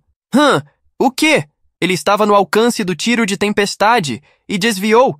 Como isso é possível? A jogadora, vendo-o, abre um grande sorriso chamando seu nome, feliz por vê-lo vivo. E o Jun se coloca em posição de combate enquanto se concentra sobre o inimigo. Se é uma habilidade usada por um arqueiro de nível 50, só pode ser o tiro de tempestade. Eu conheço o alcance do tiro de tempestade. Não há como eu cair em um movimento tão óbvio. Então vamos acabar com isso. O jogador com arco e flecha nota uma parede onde seu parceiro deveria estar, e, chocado, encara a barreira, perguntando-se o que seria aquilo. Ele escuta seu parceiro mago gritar para que ele faça algo, deixando-o furioso por ter construído a barreira e o deixado sozinho contra o protagonista. Seu julgamento é bom, mas suas habilidades nem tanto. Devo eliminar o arqueiro primeiro? Diz o protagonista, encarando-o seriamente, enquanto o oponente do arco grita desesperadamente para ser salvo. Um golpe é desferido, jorrando sangue do oponente. Enquanto isso, o mago corre desesperado pela caverna. Foi uma boa coisa ter planejado minha fuga antecipadamente. Não estava parecendo bom desde que o tanque Taiwan morreu com um único golpe. O homem continua se questionando o que um monstro como aquele está fazendo no terceiro andar e pensa que talvez deva relatar esta masmorra à guilda e não lidar com ele sozinho. De repente, ele sente um golpe em seu rosto, fazendo seus óculos caírem. Ele já está aqui? diz o mago assustado. O protagonista já o alcançou e agora está preparado para atacar o mago. Impressionante. Pensar que este mago, vestido em trajes celestiais, conseguiu sobreviver ao meu ataque. Duvido que isso seja resultado de uma habilidade. Provavelmente é o equipamento. E o Jun se agacha com sua espada no ombro e o mago, levando suas mãos, pensa em se render, chegando à conclusão de que é inútil lutar com o monstro sozinho. Espere! Entendo que você está com raiva, mas eu sou um conservacionista. Vamos resolver isso pacificamente com palavras. O mago inicia um diálogo, mas Jun o olha, perguntando qual seria o sentido de conversarem agora. O mago então tenta um tom amigável. Escute, sou da guilda Golden Lion. Posso te apresentar se você quiser entrar na guilda. Com um poder como o seu, os superiores até te ajudarão. Por outro lado, e se a guilda se vingar de mim se eu morrer? Vamos não complicar a situação e negociar em vez disso. O protagonista, com um leve sorriso no rosto enquanto caminha, pede para o mago confirmar se não haverá testemunhas, esmagando os óculos do mago enquanto o inimigo fica confuso e suando frio, enquanto Yujun o encara com um sorriso perturbador e seus olhos brilham como um feixe vermelho. O mago, observando, então se pergunta se realmente não há outra saída além de lutar. Espere, não estamos sozinhos. O líder da guilda estará aqui em breve. Sério, não há necessidade de continuar com isso, não é? Vamos nos acalmar e encerrar isso aqui. O mago diz, tentando esconder o nervosismo, e então escuta uma voz. Sênior, aqui! Por favor, morra com isso! Tentam atacar nosso protagonista com força total ao mesmo tempo, mas ele sai ileso e analisa de perto o cajado que o homem está segurando. Como esperado, era um equipamento defensivo. O anel de proteção bloqueia um único golpe. Ele é útil para classes com pouca vida máxima como precaução. O mago usa o cajado para conjurar magias novamente. Uma luz emana do cajado enquanto solta um grito com raiva, ativando a habilidade Barreira de Pedra. Essa barreira de pedra não pode resistir contra minha espada, e o Jun diz, movendo sua espada rapidamente contra a barreira de pedra, fazendo-a desmoronar sobre os dois jogadores. No final, matei três pessoas. Eu sabia que um dia teria sangue nas minhas mãos, mas o protagonista se vira de costas para os oponentes mortos e começa a caminhar para se afastar dali. No fundo de uma caverna, vemos destroços sobre dois corpos dos inimigos que Yu-Jun derrotou. Não acredito. Ele derrotou todos os três num instante, diz Kim Hyun, a jogadora contratada por Yu-Jun, ajoelhada no chão da masmorra. Observando o que acabara de acontecer, continua. Eles não eram apenas jogadores comuns, eram assassinos notórios e impiedosos. Mas ele fez parecer fácil. Enquanto observa como Yu Jun conseguiu derrotá-los com calma, ela pensa sobre o equipamento incomum que foi capaz de cortar tanto arma quanto carne do oponente com apenas um golpe. Por que alguém com essa habilidade ainda estaria nos níveis baixos? Pensando bem, eu sou realmente sortuda. Heion pensava que estaria morta, mas agora conheceu alguém tão forte e gentil. Ela considera o acontecido um milagre, enquanto avista Yu Jun na passagem que abriram na parede, aproximando-se dela e observando sua espada, que brilhava como a esfera azul luminosa. Você foi incrível. Derrubar membros da guilda tão facilmente, mesmo que sejam apenas grunhos de baixo nível, não é uma pequena conquista, diz ela, juntando as mãos e olhando com admiração para Yu-jun. Não é nada realmente. Yu-jun responde com um sorriso suave, agachando-se para pegar o arco que está no chão. Ele então vira-se para ela e pergunta se havia mais alguém com os três homens. Ela responde que eram apenas eles, mas que poderiam ter contatado a guilda deles por reforços. Ah, eles eram da guilda do Leão Dourado, certo? Provavelmente não reportaram aos seus superiores. Se podem manter uma masmorra oculta, por que compartilhariam com mais alguém? O protagonista concorda, mencionando que já encontrou jogadores assim no início de sua jornada. Ele conta a ela que entende a situação e fica meio cabisbaixo. E o Jun então estende o arco e o cajado do mago que acabaram de enfrentar, oferecendo as duas armas a Heion, lembrando que vem de informações sobre as masmorras e que essas armas poderiam ajudá-la. Realmente não há necessidade, ela responde, levantando as mãos em recusa às armas, pensando que seria ótimo se alguém como ele a convidasse para seu grupo. Será que ele me convidará? E o Jun então insiste em entregar as armas. Pense nisso como uma compensação pelo que aqueles caras fizeram com você. A jogadora insiste que não há necessidade e acha que ele não precisa ir tão longe, pois ela é quem deveria recompensá-lo por salvar sua vida. Esses itens realmente não são grande coisa. Só me ajude a encontrar algumas masmorras, se você realmente quiser me recompensar. O protagonista se lembra que não pode perder a oportunidade de parecer generoso aos olhos de alguém com uma habilidade rara. Ele pede apenas para que a jogadora aceite as armas oferecidas. E eu vou aceitar então, Heion diz suavemente, levando suas mãos até as armas e pegando-as para si enquanto pensa. Ele é uma boa pessoa. Definitivamente vou ajudá-lo a explorar as masmorras se ele quiser. A jogadora guia o protagonista de volta até a passagem que abriram antes de dar de cara com os inimigos, indicando um caminho. Se você for por aqui, chegará à sala do chefe. Tive que voltar por causa das quimeras. E o Jun, ouvindo isso, diz que ela não precisará se preocupar com as quimeras, pois ele pode lidar com elas. Ele observa enquanto ela fala, ficando admirado com o quanto ela é talentosa por ter encontrado tão rápido a sala do chefe. Tenha cuidado ao lidar com os itens. Você pode ser rastreado, Heion diz, alertando-o enquanto seguem o caminho indicado. E o Jun diz para que ela não se preocupe, pois ele tem contatos confiáveis para isso. A jogadora faz uma expressão brava, pensando no quão patética foi sua tentativa de recusar as armas e que, a partir de agora, ele precisa agir corretamente. Enquanto isso, o protagonista pensa sobre o quão valiosa ela é por ter um talento como esse que liderará a investida nas masmorras no futuro. Ele sabe que ela não poderá ser capturada por guildas ao fazer trocas. Esta é a sala do chefe? E o Jun diz sorrindo ao verem que se aproximam de uma grande porta de ferro. Ele segura sua espada, apoiando-a no ombro. Você sabe que tipo de chefe está lá dentro? Ela olha para a porta e depois para Yujun, respondendo: Não, eu não. Mesmo com minha habilidade, não consigo obter informações sobre a sala do chefe. O protagonista logo se aproxima da porta, dizendo: Parece que teremos que enfrentá-lo de frente então. Leva sua mão, deslizando pela grande porta e empurrando-a para abri-la. Vamos lá! Eles então adentram o salão iluminado por várias tochas de pedra enfileiradas. O sistema do jogo avisa que o antigo alquimista Paranet, que procurava se tornar um cavaleiro da morte, acordou de seu sono. Yu Jun olha sério para o fundo do grande salão, onde está o homem cujo corpo é apenas ossos, vestido com uma capa amarela e capuz e segurando uma espada vermelha e preta.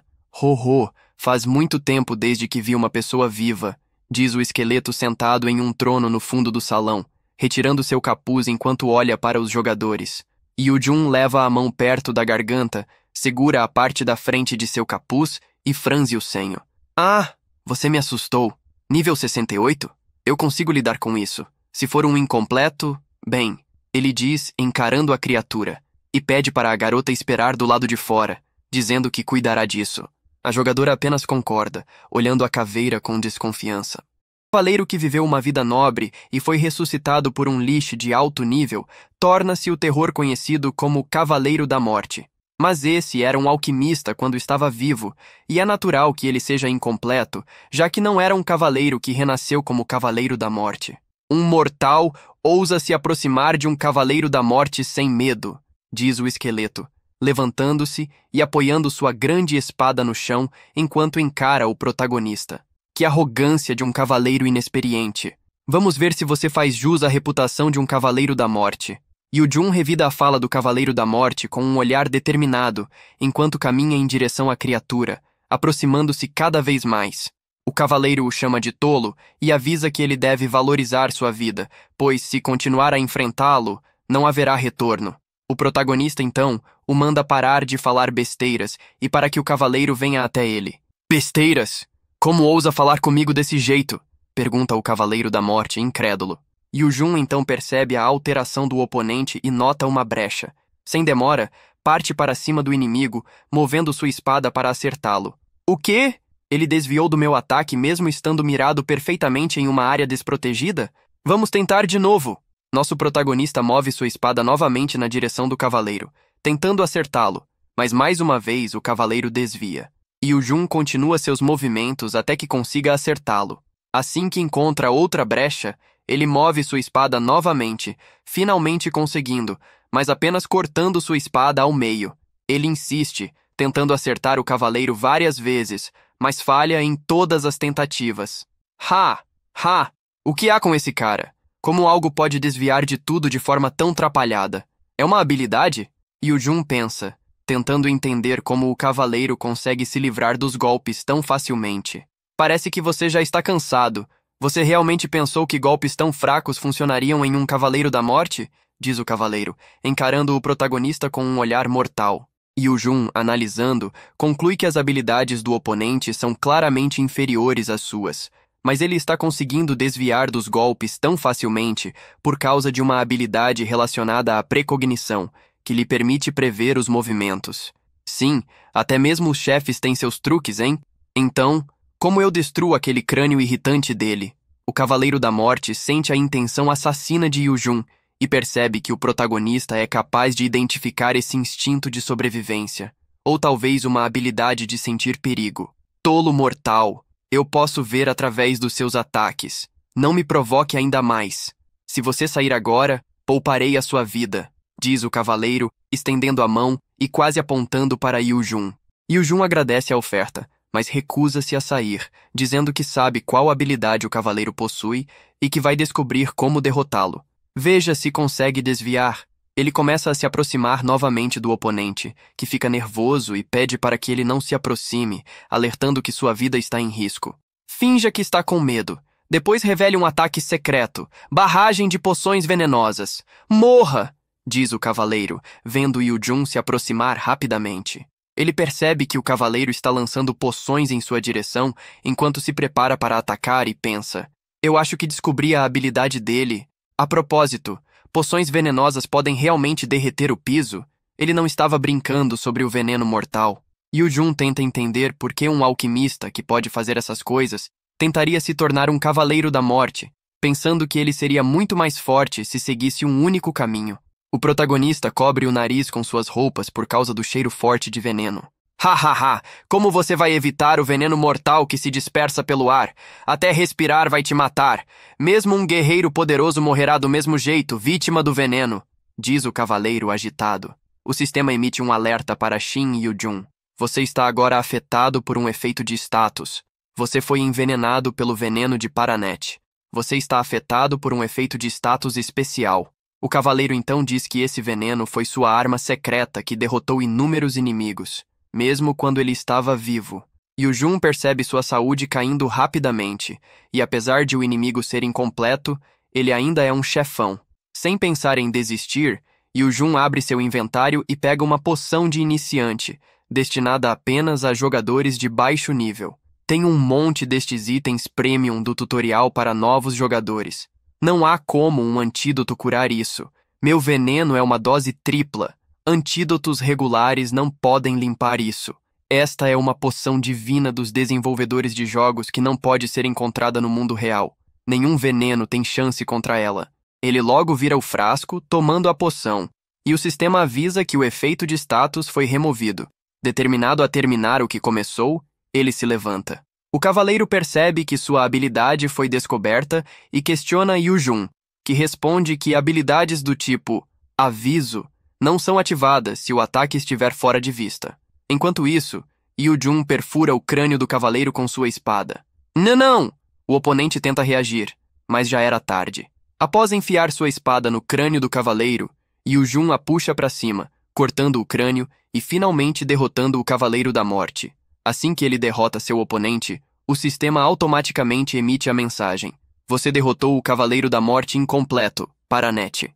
Além de avisar que ele subiu de nível e descobriu o laboratório do alquimista, o sistema menciona outras conquistas, incluindo a obtenção da essência de Paranet e do recipiente de vida de Paranet.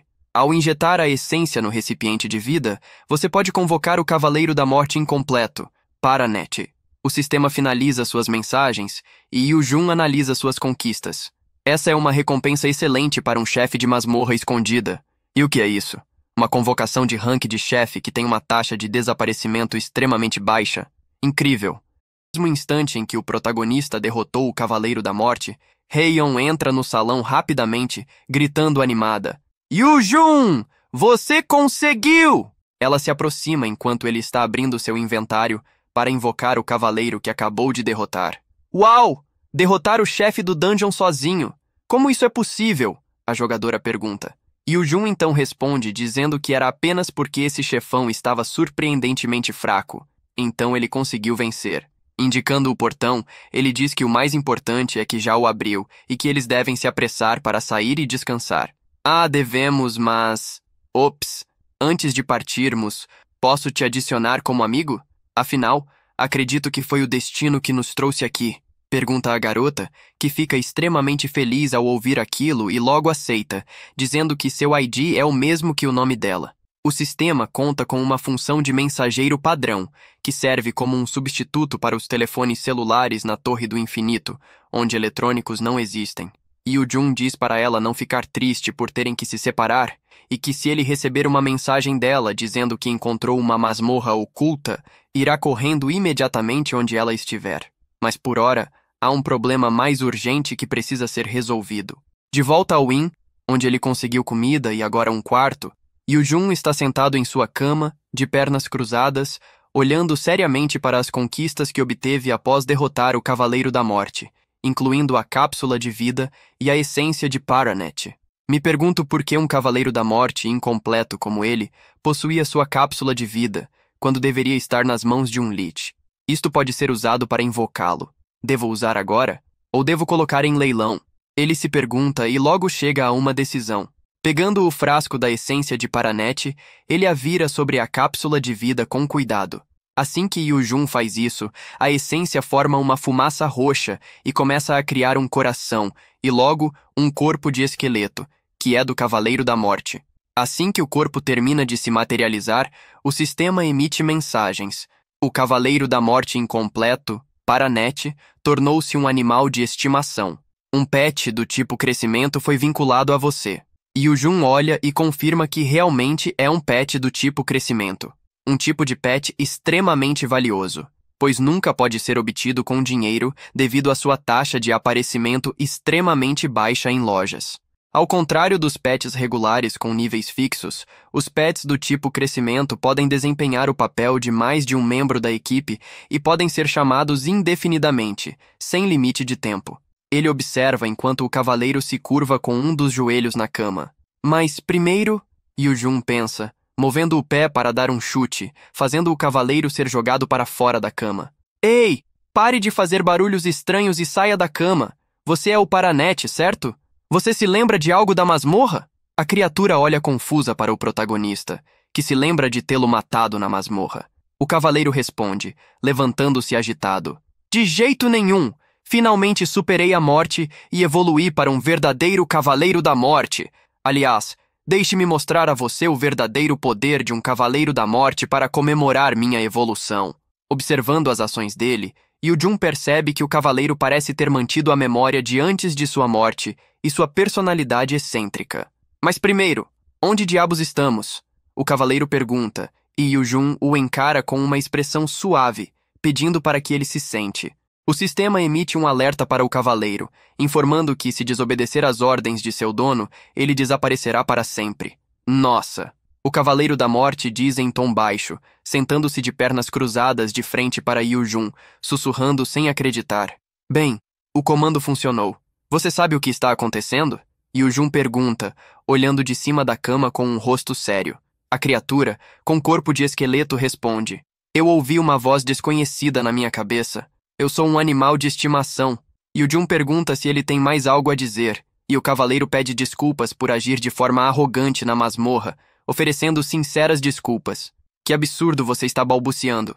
Está tudo bem, mas por que você age de forma tão arrogante? E o Jun pergunta.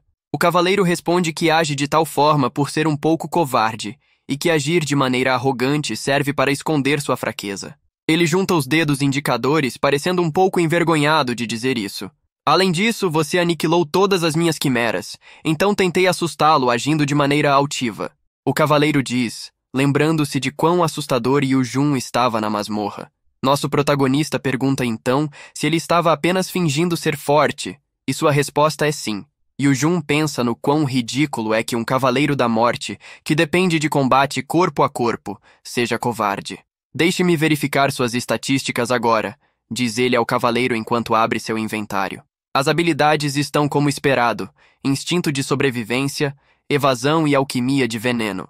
É aceitável para um cavaleiro da morte ser assim? Ele então nota algo em seu inventário.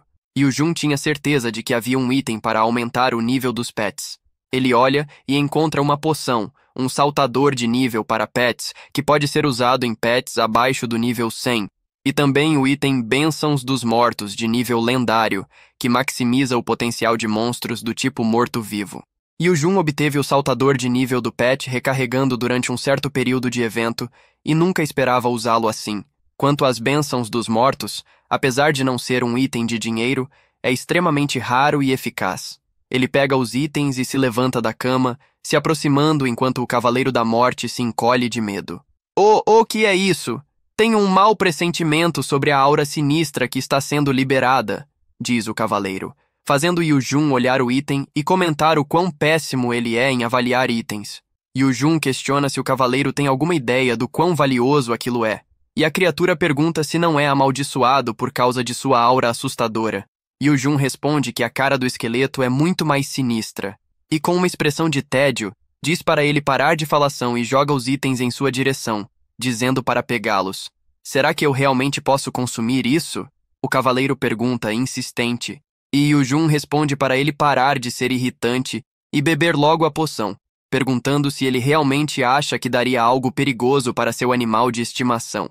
O cavaleiro resolve virar o frasco em sua boca, enquanto Yujun olha com um sorriso animado e seus olhos brilhando em vermelho. O sistema então emite um alerta, avisando que o animal de estimação, Paranet, atingiu o nível 100, deixando o pet animado por um avanço tão rápido. Eu posso sentir meu poder aumentando. Me sinto muito mais forte, talvez até duplamente forte, diz o Cavaleiro da Morte, fechando seus punhos e sentindo seu poder aumentar. Sem demora, Yujun pega o item Bênçãos dos Mortos e o gruda na testa do cavaleiro, assustando-o. Ótimo, isso deu certo. Agora é a vez disso, diz o protagonista. Assustado, o esqueleto olha para o item em sua testa, que começa a brilhar intensamente, fazendo Yujun cobrir seus olhos por causa da luz que preenche todo o quarto. O potencial do pet, Paranet, aumentou significativamente. O sistema emite o aviso. Olhe, mestre, meu verdadeiro potencial foi desbloqueado. O Cavaleiro da Morte muda parte de sua aparência. Seus cabelos rosa-salmão transformam-se em dourado, e agora há raios amarelos irradiando do seu corpo. E o Jun abre seu inventário para ver os dados do seu pet e segura o queixo pensativo enquanto analisa. Bem, usar os itens valiosos valeu a pena. Com a habilidade Explosão de Corpos. Embora seja uma boa habilidade, parece que está se distanciando de ser um Cavaleiro da Morte. A estatística de poder mágico de Paranet também é alta, então isso deve ser útil, e ele parece satisfeito também. O protagonista pensa observando as ações de seu pet, enquanto este aproveita o aumento de poder e, ainda irradiando um pouco de raios dourados, passa a mão pelos cabelos e se sente poderoso, dizendo: De agora em diante, por favor, chame-me de Paranet, o escolhido. Yu-Jun vê o quão útil Paranet se tornou e fica mais confiante sobre subir para o próximo andar. De volta à torre, jogadores estão em um acampamento perto da entrada do quinto andar da torre da unidade. Muitos estão presos ali, incapazes de avançar para o próximo andar. Precisamos de um tanker. Temos três no nosso grupo. Partiremos assim que tivermos um tanque para completar o quarto. Uma jogadora com roupas lilás, charmes vermelhos e um chapéu de bruxa grita a outro que está um pouco à frente de Yujun, que está encostado em uma árvore. Um jogador de armadura e capacete amarelos ao lado da garota olha para todos os lados à procura de um tanque. Procuramos um tanker confiável, pagaremos antecipadamente. O jogador com design de ninja à frente de Yujun responde à garota. Essas pessoas estão procurando tankers devido à especialidade do quinto andar, o raid do chefe. O chefe do quinto andar não tem fraquezas, portanto, é puramente um teste do potencial do tanque, DPS e healer do grupo. Esse é um desafio que pode ser considerado um muro de lágrimas para jogadores abaixo do nível 100. Bem, até eu não consigo fazer isso sozinho. As habilidades de Paranet tornaram-se bem úteis, mas. O chefe do quinto andar, Rom, requer quatro membros no grupo. O protagonista pensa, sorrindo enquanto observa a conversa entre os jogadores.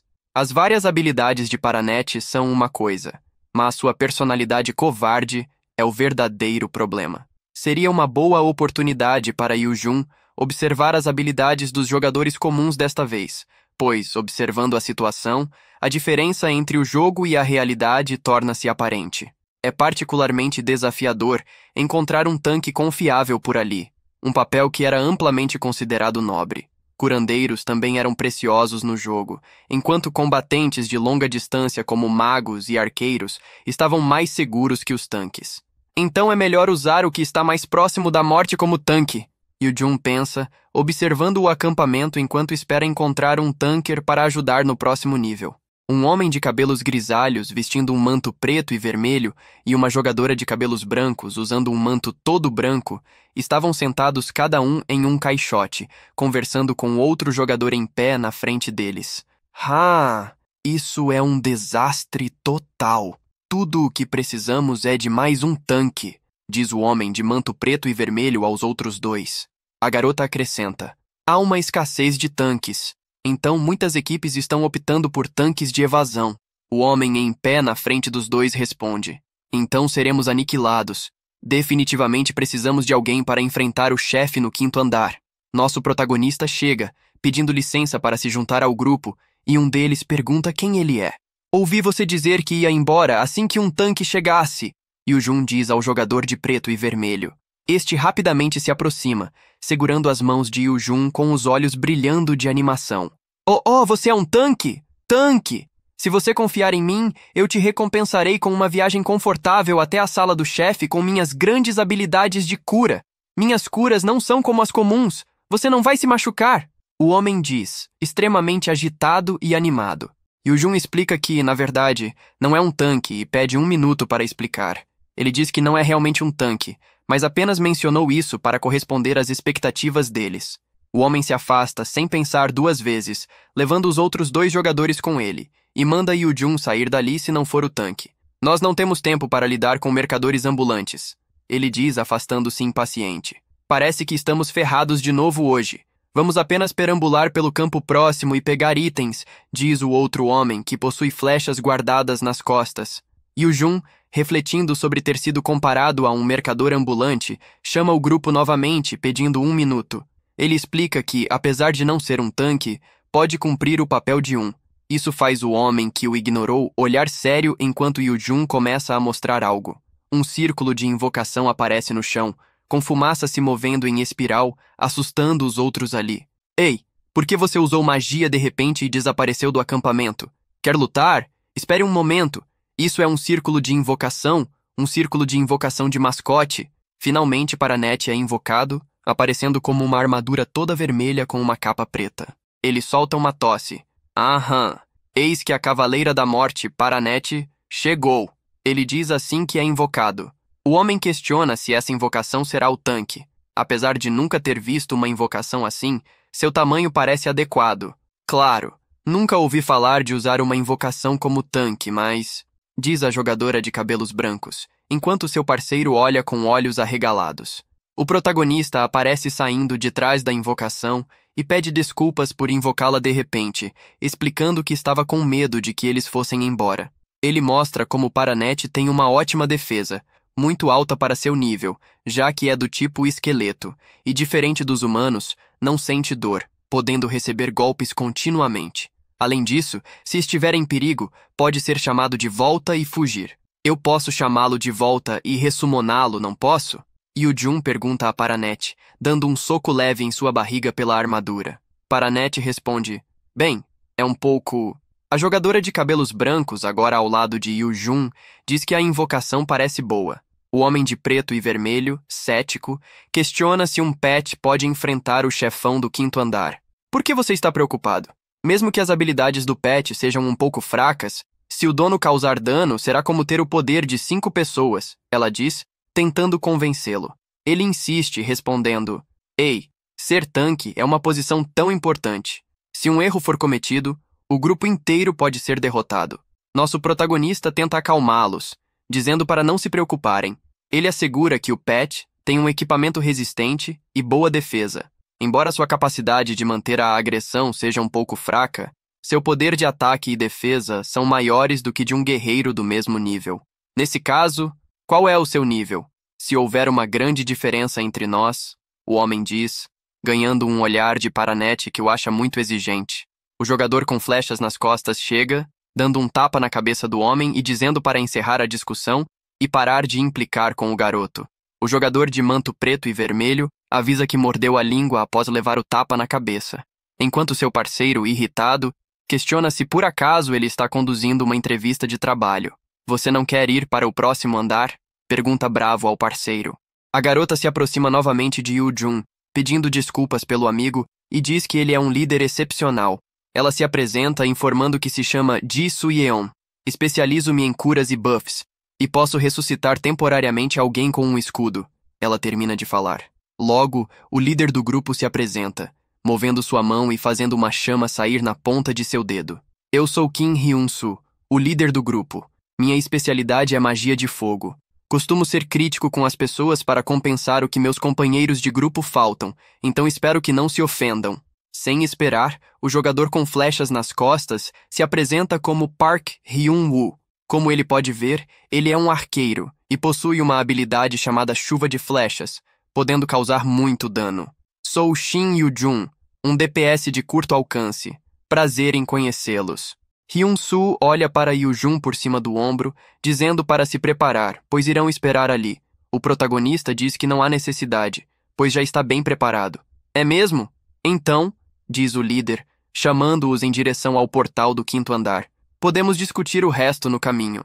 Eles logo atravessam o portal com o líder na frente, seguido por Yu-jun ao lado de Paranet e a curadora logo atrás. Yu-jun, você já tentou desafiar a dungeon do quinto andar do Trial? O líder pergunta, encarando-o. Não, mas estou familiarizado com a estratégia, responde Yu-jun. Hyun-soo passa a considerá-lo um jogador experiente e decide pular as orientações, procedendo com cautela. O líder avisa que, se as habilidades do tanque forem insuficientes ou se seu dano for pateticamente baixo, eles irão retirá-lo imediatamente e desfazer o grupo, e pergunta se ele está bem com isso. Por que você duvida tanto das minhas habilidades? Paranet pergunta, cutucando o ombro de Yu Jun, que responde ao líder concordando e dando um sorriso, mostrando que está tudo bem se essa for a decisão. Você espera que eu seja o tanque? Você está falando sério? Paranet pergunta a Yujun, que questiona se ele sente falta de confiança, e ele nega, deixando uma dúvida no ar. Ei, eu não contei a eles, mas você já está no nível 100. Você está no mesmo nível do chefe deste andar. Com seu nível, você é invencível com aquela armadura. E o Jun conta apenas para Paranet escutar e então diz que sua preocupação é chamar a atenção e fazer o grupo ser derrotado. Por que você finge ser fraco quando está sempre se gabando de ser um super morto-vivo? A propósito, Paranet, qual arma você é mais proficiente? E o Jun pergunta enquanto olha seu inventário. Ele então responde que, como um cavaleiro, sua melhor arma é naturalmente a espada. Seu mestre diz para ele não se exibir e responder sinceramente, então ele admite ser proficiente com todas as armas, mas melhor com a espada. Tudo bem. Mesmo que sua proficiência com armas seja baixa, suas estatísticas são avassaladoras. Então vá com tudo. Certo. Paranet fica animado com a espada de base preta e detalhes vermelhos, segurando-a e admirando-a, enquanto Yu Jun explica que essa é uma espada com poder de ataque de médio a alto e uma chance de causar sangramento. Isso pode ajudar num embate agressivo. É uma espada de grau lendário, então, se quebrá-la, acabou. Uau! Uma arma de grau lendário! Paranet olha encantado para a espada. Você parece melhorar tão facilmente, diz Yu Jun, com uma expressão de tédio, assistindo ao cavaleiro admirar o item. Yujun, você é rico, não é? É uma arma de grau lendário, então deve ser bem cara e você está usando-a no seu pet. Além disso, nem parece ser um item que pode ser obtido nos andares inferiores. A garota questiona, chamando a atenção de Yujun, que a olha com um sorriso nervoso enquanto ela o olha desconfiada. Ah, eu conheço um ranker popular que me ajudou um pouco, mas ele me pediu para manter isso em segredo diz o protagonista, mas ela insiste para que ele conte. E o Jun consegue desviar, pedindo desculpas por não poder contar, pois o player realmente odeia quando diz o nome dele para as pessoas. Ele é simplesmente tão ranzinza. Ela então diz que o inventário de Yu Jun provavelmente está cheio de itens valiosos e concorda que não precisa saber sobre o suposto player que entregou a espada. Chega de papo furado! Olhe, a patrulha está vindo! o líder finalmente avista duas criaturas com capacetes de armaduras e cada uma com uma espada. Vamos passar pelos monstros rapidamente. Yujun, use seu pet para atrair o agro. Yujun, sorrindo e parecendo animado, se prepara e ordena que Paranet avance nos inimigos. Ele obedece, avançando e atacando com sua espada. Quase no mesmo instante, o líder usa sua magia de fogo, criando uma explosão em chamas. Yujun, esse animal de estimação não é mais adequado como um DPS do que um tanque? O poder de ataque dele não é brincadeira. Ele reconhece que a invocação de Yujun é realmente forte. Deixe esses pequenos fritos comigo, diz Paranet, empolgado com a pequena luta. O protagonista observa, vendo que também havia subestimado seu pet, pois ele está indo muito melhor do que o esperado. O atrai o agro pela frente, e cada DPS deve cuidar de um inimigo, Vamos reduzir os números deles rapidamente, pensa o protagonista, observando o esqueleto. Vocês lidam com aqueles à esquerda. Eu vou atacar pela direita, grita Hyunsu, enquanto mais dois goblins vêm em sua direção junto com um lobo. O arqueiro se prepara, atirando uma flecha explosiva na direção de uma das criaturas, que é atingida e lançada violentamente. Outras criaturas são golpeadas por Paranet e Yujun, que conseguem derrotar todos rapidamente deixando o lugar cheio de corpos no chão. Ok, nós liquidamos todos os peixinhos sem sofrer quaisquer perdas. Agora, finalmente, é a sala do chefe que estávamos esperando, diz o líder sem perder tempo, caminhando para onde está o chefão do quinto andar. Chegando lá, encontram uma criança adormecida no chão do grande salão. O chefe do quinto andar, Troll, diz o líder. O protagonista observa a criatura de baixo. Essa criatura pode ser um monstro comum em outros jogos, mas aqui é diferente. Esse monstro, conhecido como uma ameaça para jogadores de baixo nível tentando progredir, possui defesa e poder de ataque incríveis. Também tem uma habilidade de regeneração poderosa. Ele é violento e ágil, tornando difícil recuar ou sobreviver, por isso ter um tanque que possa segurar o agro é essencial. Embora ele seja relativamente fraco contra fogo, não é nada único para este monstro. Ha! É esse inimigo fraco o meu adversário final? Acho que posso lidar com ele sozinho, mas.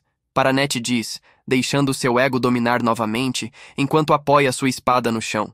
Nossa! Ei! Seu ego ficou grande demais, mesmo que você tenha embalo, diz Yu Jun, observando logo atrás dele e se preparando para a luta. Finalmente, encontrando o chefe do quinto andar, Paranet não perde tempo e logo começa a caminhar em sua direção. Esse troll é o meu adversário? Yu Jun, ao ver que Paranet começou a avançar para cima do troll, arregala os olhos surpreso, dizendo para ele não ir com tudo para cima do oponente sem um plano. O sistema então avisa que a raid do chefe do desafio do quinto andar está começando. Droga! Começou, diz o protagonista, ainda surpreso, e o líder Hyun-soo pergunta se devem recuar e reiniciar se o tanque estiver instável. Não há necessidade. O tanque é bom, mas. O protagonista diz sorrindo, enquanto Paranet levanta sua espada, apontando-a para seu oponente. Olhe para essa grande criatura bárbara. Eu, Super Paranet, vou cuidar dele. De repente, Paranet olha boquiaberto para o chefe Troll, pois ele move sua arma na direção dele e golpeia o chão, fazendo um grande estrondo e quebrando parte do chão.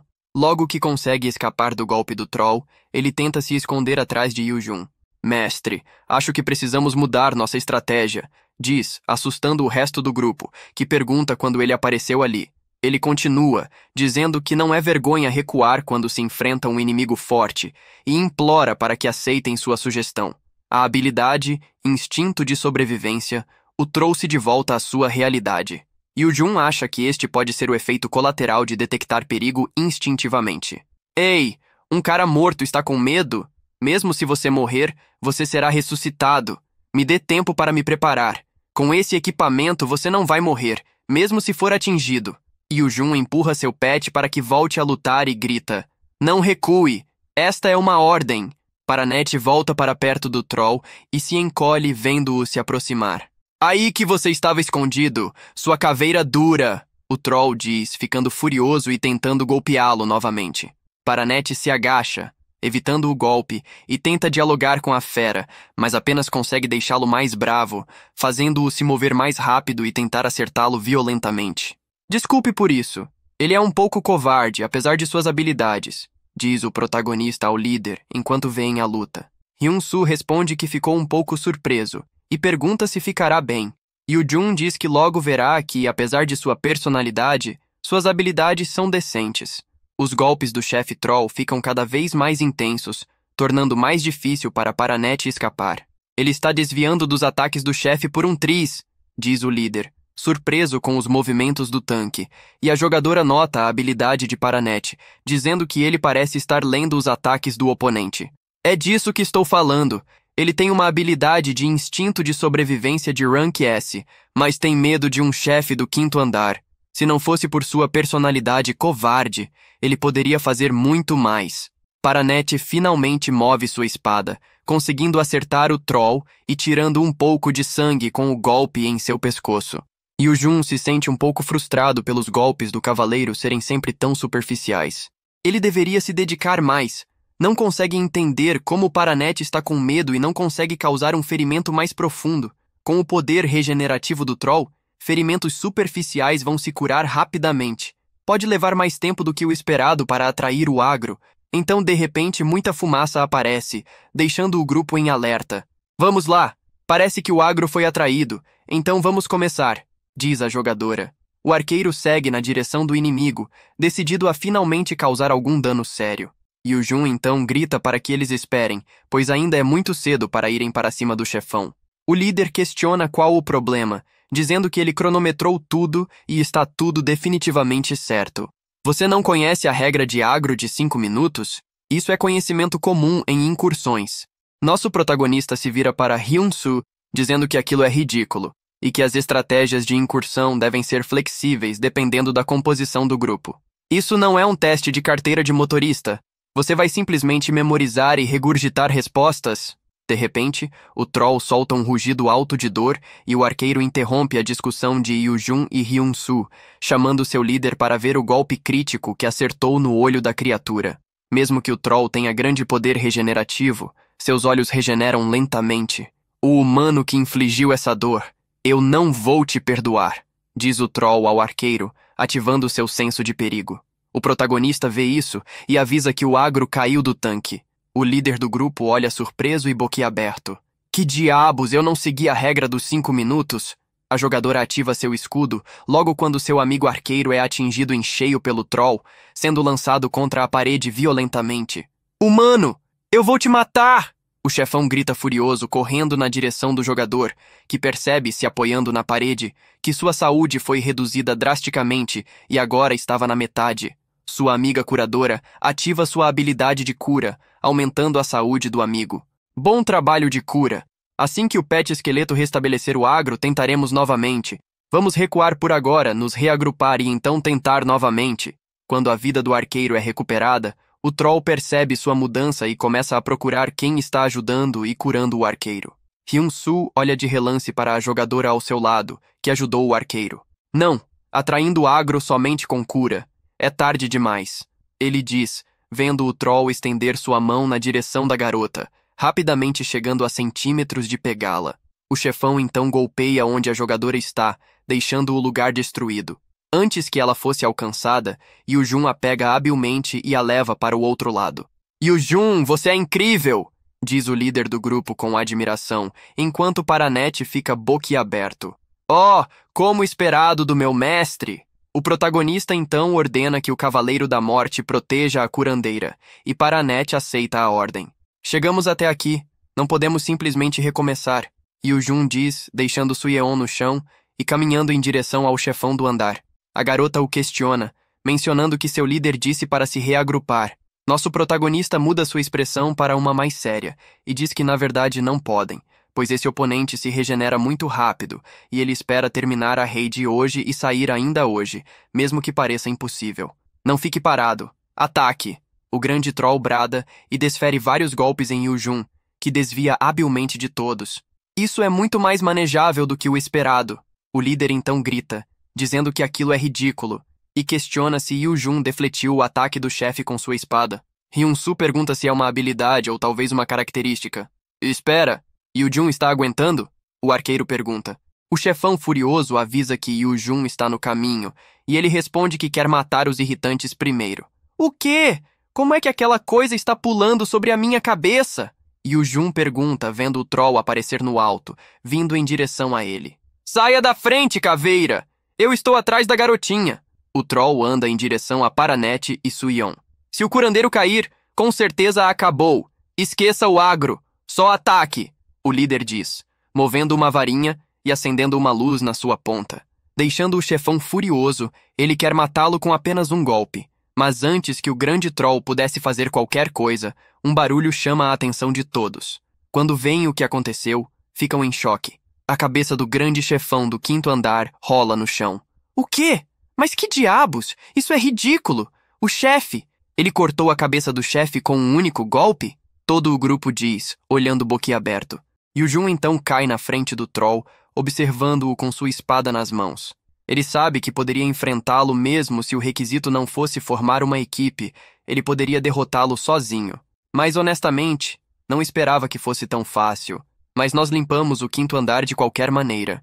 O protagonista diz, e logo começam a receber mais avisos do sistema. O chefão do quinto andar, o Troll, foi derrotado, a prova do quinto andar foi limpa e o próximo andar está aberto. E o Jun e os outros sobem de nível. E o Jun e seus parceiros estão em uma espécie de acampamento já no próximo nível. Ji Su-yeon agradece ao protagonista, dizendo que pensou que tudo estava acabado para ela, mas que sobreviveu graças a Jun. Nunca esquecerei esse favor. Jun recebe o agradecimento ressaltando que todos trabalharam juntos nessa. Mas Hyun-soo o contradiz. Ei, mesmo se sua boca for torta, você tem que falar direito. Para ser honesto, Jun fez tudo sozinho. A jogadora então pergunta se pode adicioná-lo para mandar mensagens, e o Jun aceita sem hesitar. O arqueiro diz que se algo bom acontecer ou se encontrar uma oportunidade decente, com certeza entrará em contato. Eles então se despedem e nosso protagonista se afasta aos poucos. Uau! Agora que penso nisso, ele impressiona apenas andando. Eu pensei que ele era um estranho andando sozinho sem membros do grupo, mas ele é realmente bem habilidoso. A propósito, fomos carregados demais hoje. arqueiro do grupo concorda e acha que seria melhor terem continuado como um grupo em vez de se separarem assim. Na, a diferença de habilidade era grande demais para trabalharmos juntos. Com habilidades que permitem abater chefões com um único golpe, ele pode ir sozinho. O líder deles diz, ainda observando Yu Jun de longe. O arqueiro questiona sobre terem trocado contatos, e Hyun Soo diz que não deveria ter sido assim, e que eles devem se esforçar para melhorar suas habilidades, pois assim não irão se envergonhar novamente. Devemos voltar ao calabouço então? Seu parceiro pergunta. Concordo, mas vamos comer primeiro. Não podemos pular refeições quando estamos tentando sobreviver, certo? Com o tempo passado, a prova do nono andar acontece, e Yu Jun enfrenta mais uma criatura, dessa vez um escorpião gigante. Várias pedras voam com um grande impacto, e nosso protagonista sobe em uma delas, empunhando sua espada e se movendo habilmente para cortar seu oponente ao meio. Logo depois de cortá-lo, ele vai em direção ao chão, caindo, mas consegue pousar de forma segura. Ele avançou rapidamente do quinto para o nono andar depois de romper, mas está começando a se sentir um pouco sobrecarregado agora que está tão avançado. Hã? Eu exagerei no final? Você derrotou o chefe da prova do nono andar, o escorpião do deserto. Você concluiu a prova do nono andar. O próximo andar está agora aberto. O sistema avisa também que ele obteve o raro título de escalador experiente. Escalador experiente. Como esperado, eu consegui. Obter esse título mesmo sendo um jogador F2P. Ele diz olhando suas conquistas, e suas recompensas por passar nas provas foram ligeiramente aumentadas. Uau! Você subiu de nível de novo. Mas sério, derrotar o nono andar em meio-dia? É isso aí, mestre. Paranet aparece de repente correndo em direção a Yu-jun. Aquele cara simplesmente se ressuscita mesmo se morrer e sobrevive. Ver isso me fez perceber que a habilidade de instinto de sobrevivência é realmente boa. Paranet então pergunta se irão subir até o 11 andar dessa forma, mas o protagonista nega enquanto guarda sua espada, dizendo que há um lugar em que precisam passar antes de seguirem. Havia um dungeon naquele andar que ele ainda não conseguia encontrar uma forma de entrar, mesmo quando estava jogando como um jogador F2P. Um lugar onde ele não conseguia cumprir os requisitos, não importava o que fizesse. Se a minha suposição estiver correta, esse lugar provavelmente é a entrada para a próxima etapa do tutorial de dificuldade infernal. Considerando toda a minha experiência como jogador F2P, esse é o lugar mais provável. Enquanto isso, na masmorra que Yujun está procurando, encontram-se dois jogadores, um homem loiro e outro moreno, que estão tentando entrar nela. Agora que subimos de nível, talvez possamos entrar. O homem loiro diz, e seu amigo responde que ele é muito persistente. Ei! É uma masmorra que ninguém acessou. É um jackpot garantido se você conseguir entrar. Como você pode desistir disso? O homem aproxima sua mão da barreira que cerca a grande entrada, que só permite a entrada daqueles que atendem aos requisitos. Assim que aproxima sua mão e a encosta na barreira, o sistema emite um alerta avisando que os requisitos de entrada da masmorra não foram atendidos e que eles não podem entrar nas ruínas antigas. Ao ouvir o alerta, o homem de cabelos pretos decide desistir já sem paciência, mas seu amigo o para. Eu? Você vai continuar agindo como um perdedor? É uma masmorra que nem mesmo os ranqueados conseguiram acessar. Eu me pergunto que tipo de itens vão cair aqui. Você não está nem um pouco animado? O homem de cabelos pretos então diz que com certeza estava animado, mas lembra ao seu amigo que ninguém sabe como entrar nela. Já se passou mais de um mês desde que começamos a lutar no nono andar.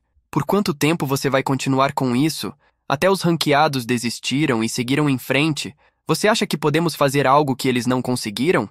Ele continua tentando convencer seu amigo, que logo responde que todos os outros falharam porque lhes faltou perseverança e que ele é diferente, pois irá perseverar até funcionar. É seu estilo. Bem, o que te faz tão especial? Você é só mais um jogador entre muitos. Se você fosse especial, não estaria preso aqui assim. O jogador moreno diz ao seu amigo, que responde seriamente: Você pode parar de me desmoralizar? Fique quieto se não vai me apoiar. O homem de cabelos pretos abre a boca novamente, mas desta vez para alertar seu amigo, perguntando se ele havia percebido que eles não eram os únicos viajantes ali. Imediatamente, o loiro se alerta e questiona se alguém está vindo. Ao escutarem passos e outros barulhos indicando a aproximação de alguém, rapidamente decidem se esconder. Qual é a desse cara? Toda vez. O moreno reclama sobre terem que se esconder sempre que alguém aparece. Seu amigo observa a figura que se aproxima e diz: O cara com certeza parece um jogador. De qualquer forma, ainda existem pessoas como você que continuam se agarrando às antigas ruínas. Eles percebem que o jogador que acaba de chegar à entrada da masmorra possui um equipamento muito bom, o que os faz se perguntar se ele seria um membro em ascensão de uma guilda famosa. Pensam até na possibilidade de ele já saber como entrar. Vamos esperar para ver. Estou com um bom pressentimento hoje. Pela expressão dele, ele pode saber de algo, diz o loiro. Seu amigo, cético, responde: Talvez não. As chances são maiores para a última opção. Francamente, ninguém conseguiu entrar na masmorra apesar de muitas tentativas. Espere. O loiro se levanta do seu esconderijo encarando o portal. Nosso protagonista, Jun, aproxima sua mão da barreira e, sem dificuldade nenhuma, consegue atravessá-la, deixando os dois que estão escondidos sem acreditar que alguém realmente conseguiu entrar nessa masmorra. Eles se questionam se ele realmente conseguiu e o que fariam agora. O que mais podemos fazer? Corram! O portal de entrada ainda pode estar aberto. O loiro diz, correndo apressadamente em direção ao portal. Quando chega, ele se choca com a barreira, e o sistema novamente avisa que os requisitos de entrada da masmorra não foram atendidos. Seu amigo de cabelos pretos pergunta se ele está bem. Estou bem, é só o meu nariz. Mas isso não é importante agora. Como aquele cara satisfez os requisitos de entrada? O homem diz enquanto o loiro massageia seu rosto com dor e responde: É verdade. Tentamos satisfazer todos os requisitos imagináveis para entrar, mas ele consegue. O que o torna tão especial? O loiro decide pensar, deixando seu amigo indignado por ele ainda continuar com a ideia de ficar ali. Então, ele pressiona seu nariz com o tecido de suas roupas e diz: Sim, não podemos simplesmente desistir assim. Vamos esperar ele sair e então confrontá-lo. Não suporto ver um cara qualquer monopolizando os itens que eu estava de olho nas ruínas antigas. Seu parceiro avisa que, se for esse o caso, ele poderá contar com ele. Oh, então vai ser um confronto de cinco contra cinco. Já dentro da masmorra, Yujun e Paranete caminham observando cada detalhe do lugar. Hu, não parece bom aqui dentro? Só de olhar, você não acha que tem algo aqui? E o Jun comenta, notando os desenhos nas paredes. Paranete responde agitado. Certamente parece promissor para mim. Afinal, o lugar onde eu morava também era uma masmorra. Olhando para o final do grande corredor, Jun nota uma enorme imagem desenhada. Espera, aquilo não é um altar? pergunta ele. O tutorial de dificuldade do inferno está avançando para a próxima fase. Você gostaria de começar o próximo tutorial? O sistema avisa assim que avistam o lugar. Sem hesitar, ele se aproxima do altar e encosta sua mão na parte superior, fazendo uma luz intensa brilhar no mesmo instante. O sistema começa a explicar que antes dos jogadores atuais existirem, havia o jogador original, o ser que dividiu os mares, inverteu a terra e voou livremente pelos céus. Este jogador original era adorado por todos. Isto parece um holograma, o que isso significa? Eu passei cinco anos completando todas as missões em War of the Gods, mas nunca vi o termo jogador original. E o Jun comenta, olhando a mulher de cabelos brancos e olhos vermelhos no holograma. Foi o poder do jogador original que protegeu este mundo da invasão das raças antigas. O jogador original, que sozinho defendeu a invasão das raças antigas, passou a ser adorado pelo povo não apenas como um herói, mas como uma figura semelhante a um deus um deus, tem relação com o nome do jogo, War of the Gods. No entanto, a invasão das raças antigas não foi o único desafio que a humanidade enfrentou. A invasão por demônios e seus seguidores logo começou, e o jogador original, que não podia parar todos os inimigos sozinho, tomou uma decisão. Ela concedeu habilidades aos seguidores com alto potencial, embora seu poder não pudesse ser comparado ao dela. A adição dos seguidores que ganharam o poder do jogador tornou-se uma força significativa para a humanidade. Ultimamente, as forças humanas centradas ao redor do jogador original conseguiram rechaçar a invasão dos demônios e seus seguidores. Pelo que parece, é sobre o jogador original. Essas holografias parecem explicar eventos do passado, mas é completamente diferente do que eu sabia sobre o jogo. Felizmente, pelo menos o conteúdo da Torre da Infinidade não mudou. Ele observa sério, dizendo que essa ruína parece estar relacionada à existência do jogador original. Considerando que eles começaram com uma lição de história, minha suposição parece estar certa. O sistema então avisa que a introdução terminou e agora começará a etapa do julgamento. Hein? Assim, sem nenhum botão de sim ou não. O quê? Onde estou? O sistema alerta que o julgamento começou. Lute e derrote o jogador original. Do 0 a 1, o nível de Yu Jun foi ajustado para 1. Se falhar em derrotar o jogador original, ele falhará na tentativa do tutorial de dificuldade infernal intermediária. O quê? Nível 1? Sério? Meus atributos e o título lendário desapareceram. Até mesmo meus equipamentos voltaram para o meu inventário. Espera, e para a net? Convocar! Convocar! Ele tenta invocar para a net, mas falha em sua tentativa, ficando desesperado. Estão me pedindo para derrotar o jogador original neste estado sem nada? Sozinho contra o monstro que aniquilou outras raças e afastou demônios e seus seguidores? Este teste é absurdo. Eles chamam isso de um teste divino. E o Jun segura seu queixo pensativo, deduzindo que este é um mundo baseado em um jogo e que, se é uma missão, deve haver uma maneira de completá-la. Como esperado, esperei por muito tempo. Finalmente, meu sucessor chegou. A voz de uma mulher chega aos ouvidos do protagonista, e ele a observa por cima do ombro, vendo a mulher de cabelos brancos longos vestindo um hanbok vermelho e preto. Ela é a jogadora original. Bom, galera, eu vou ficando por aqui. Obrigado por ter ficado comigo até o final, e se curtiu, não esqueça de deixar aquele like maroto e comentar para mais parte, isso faz maior diferença para nós. Se você é novo, se inscreva em nosso canal e já faça aquela maratona dos vídeos para se distrair. Até a próxima.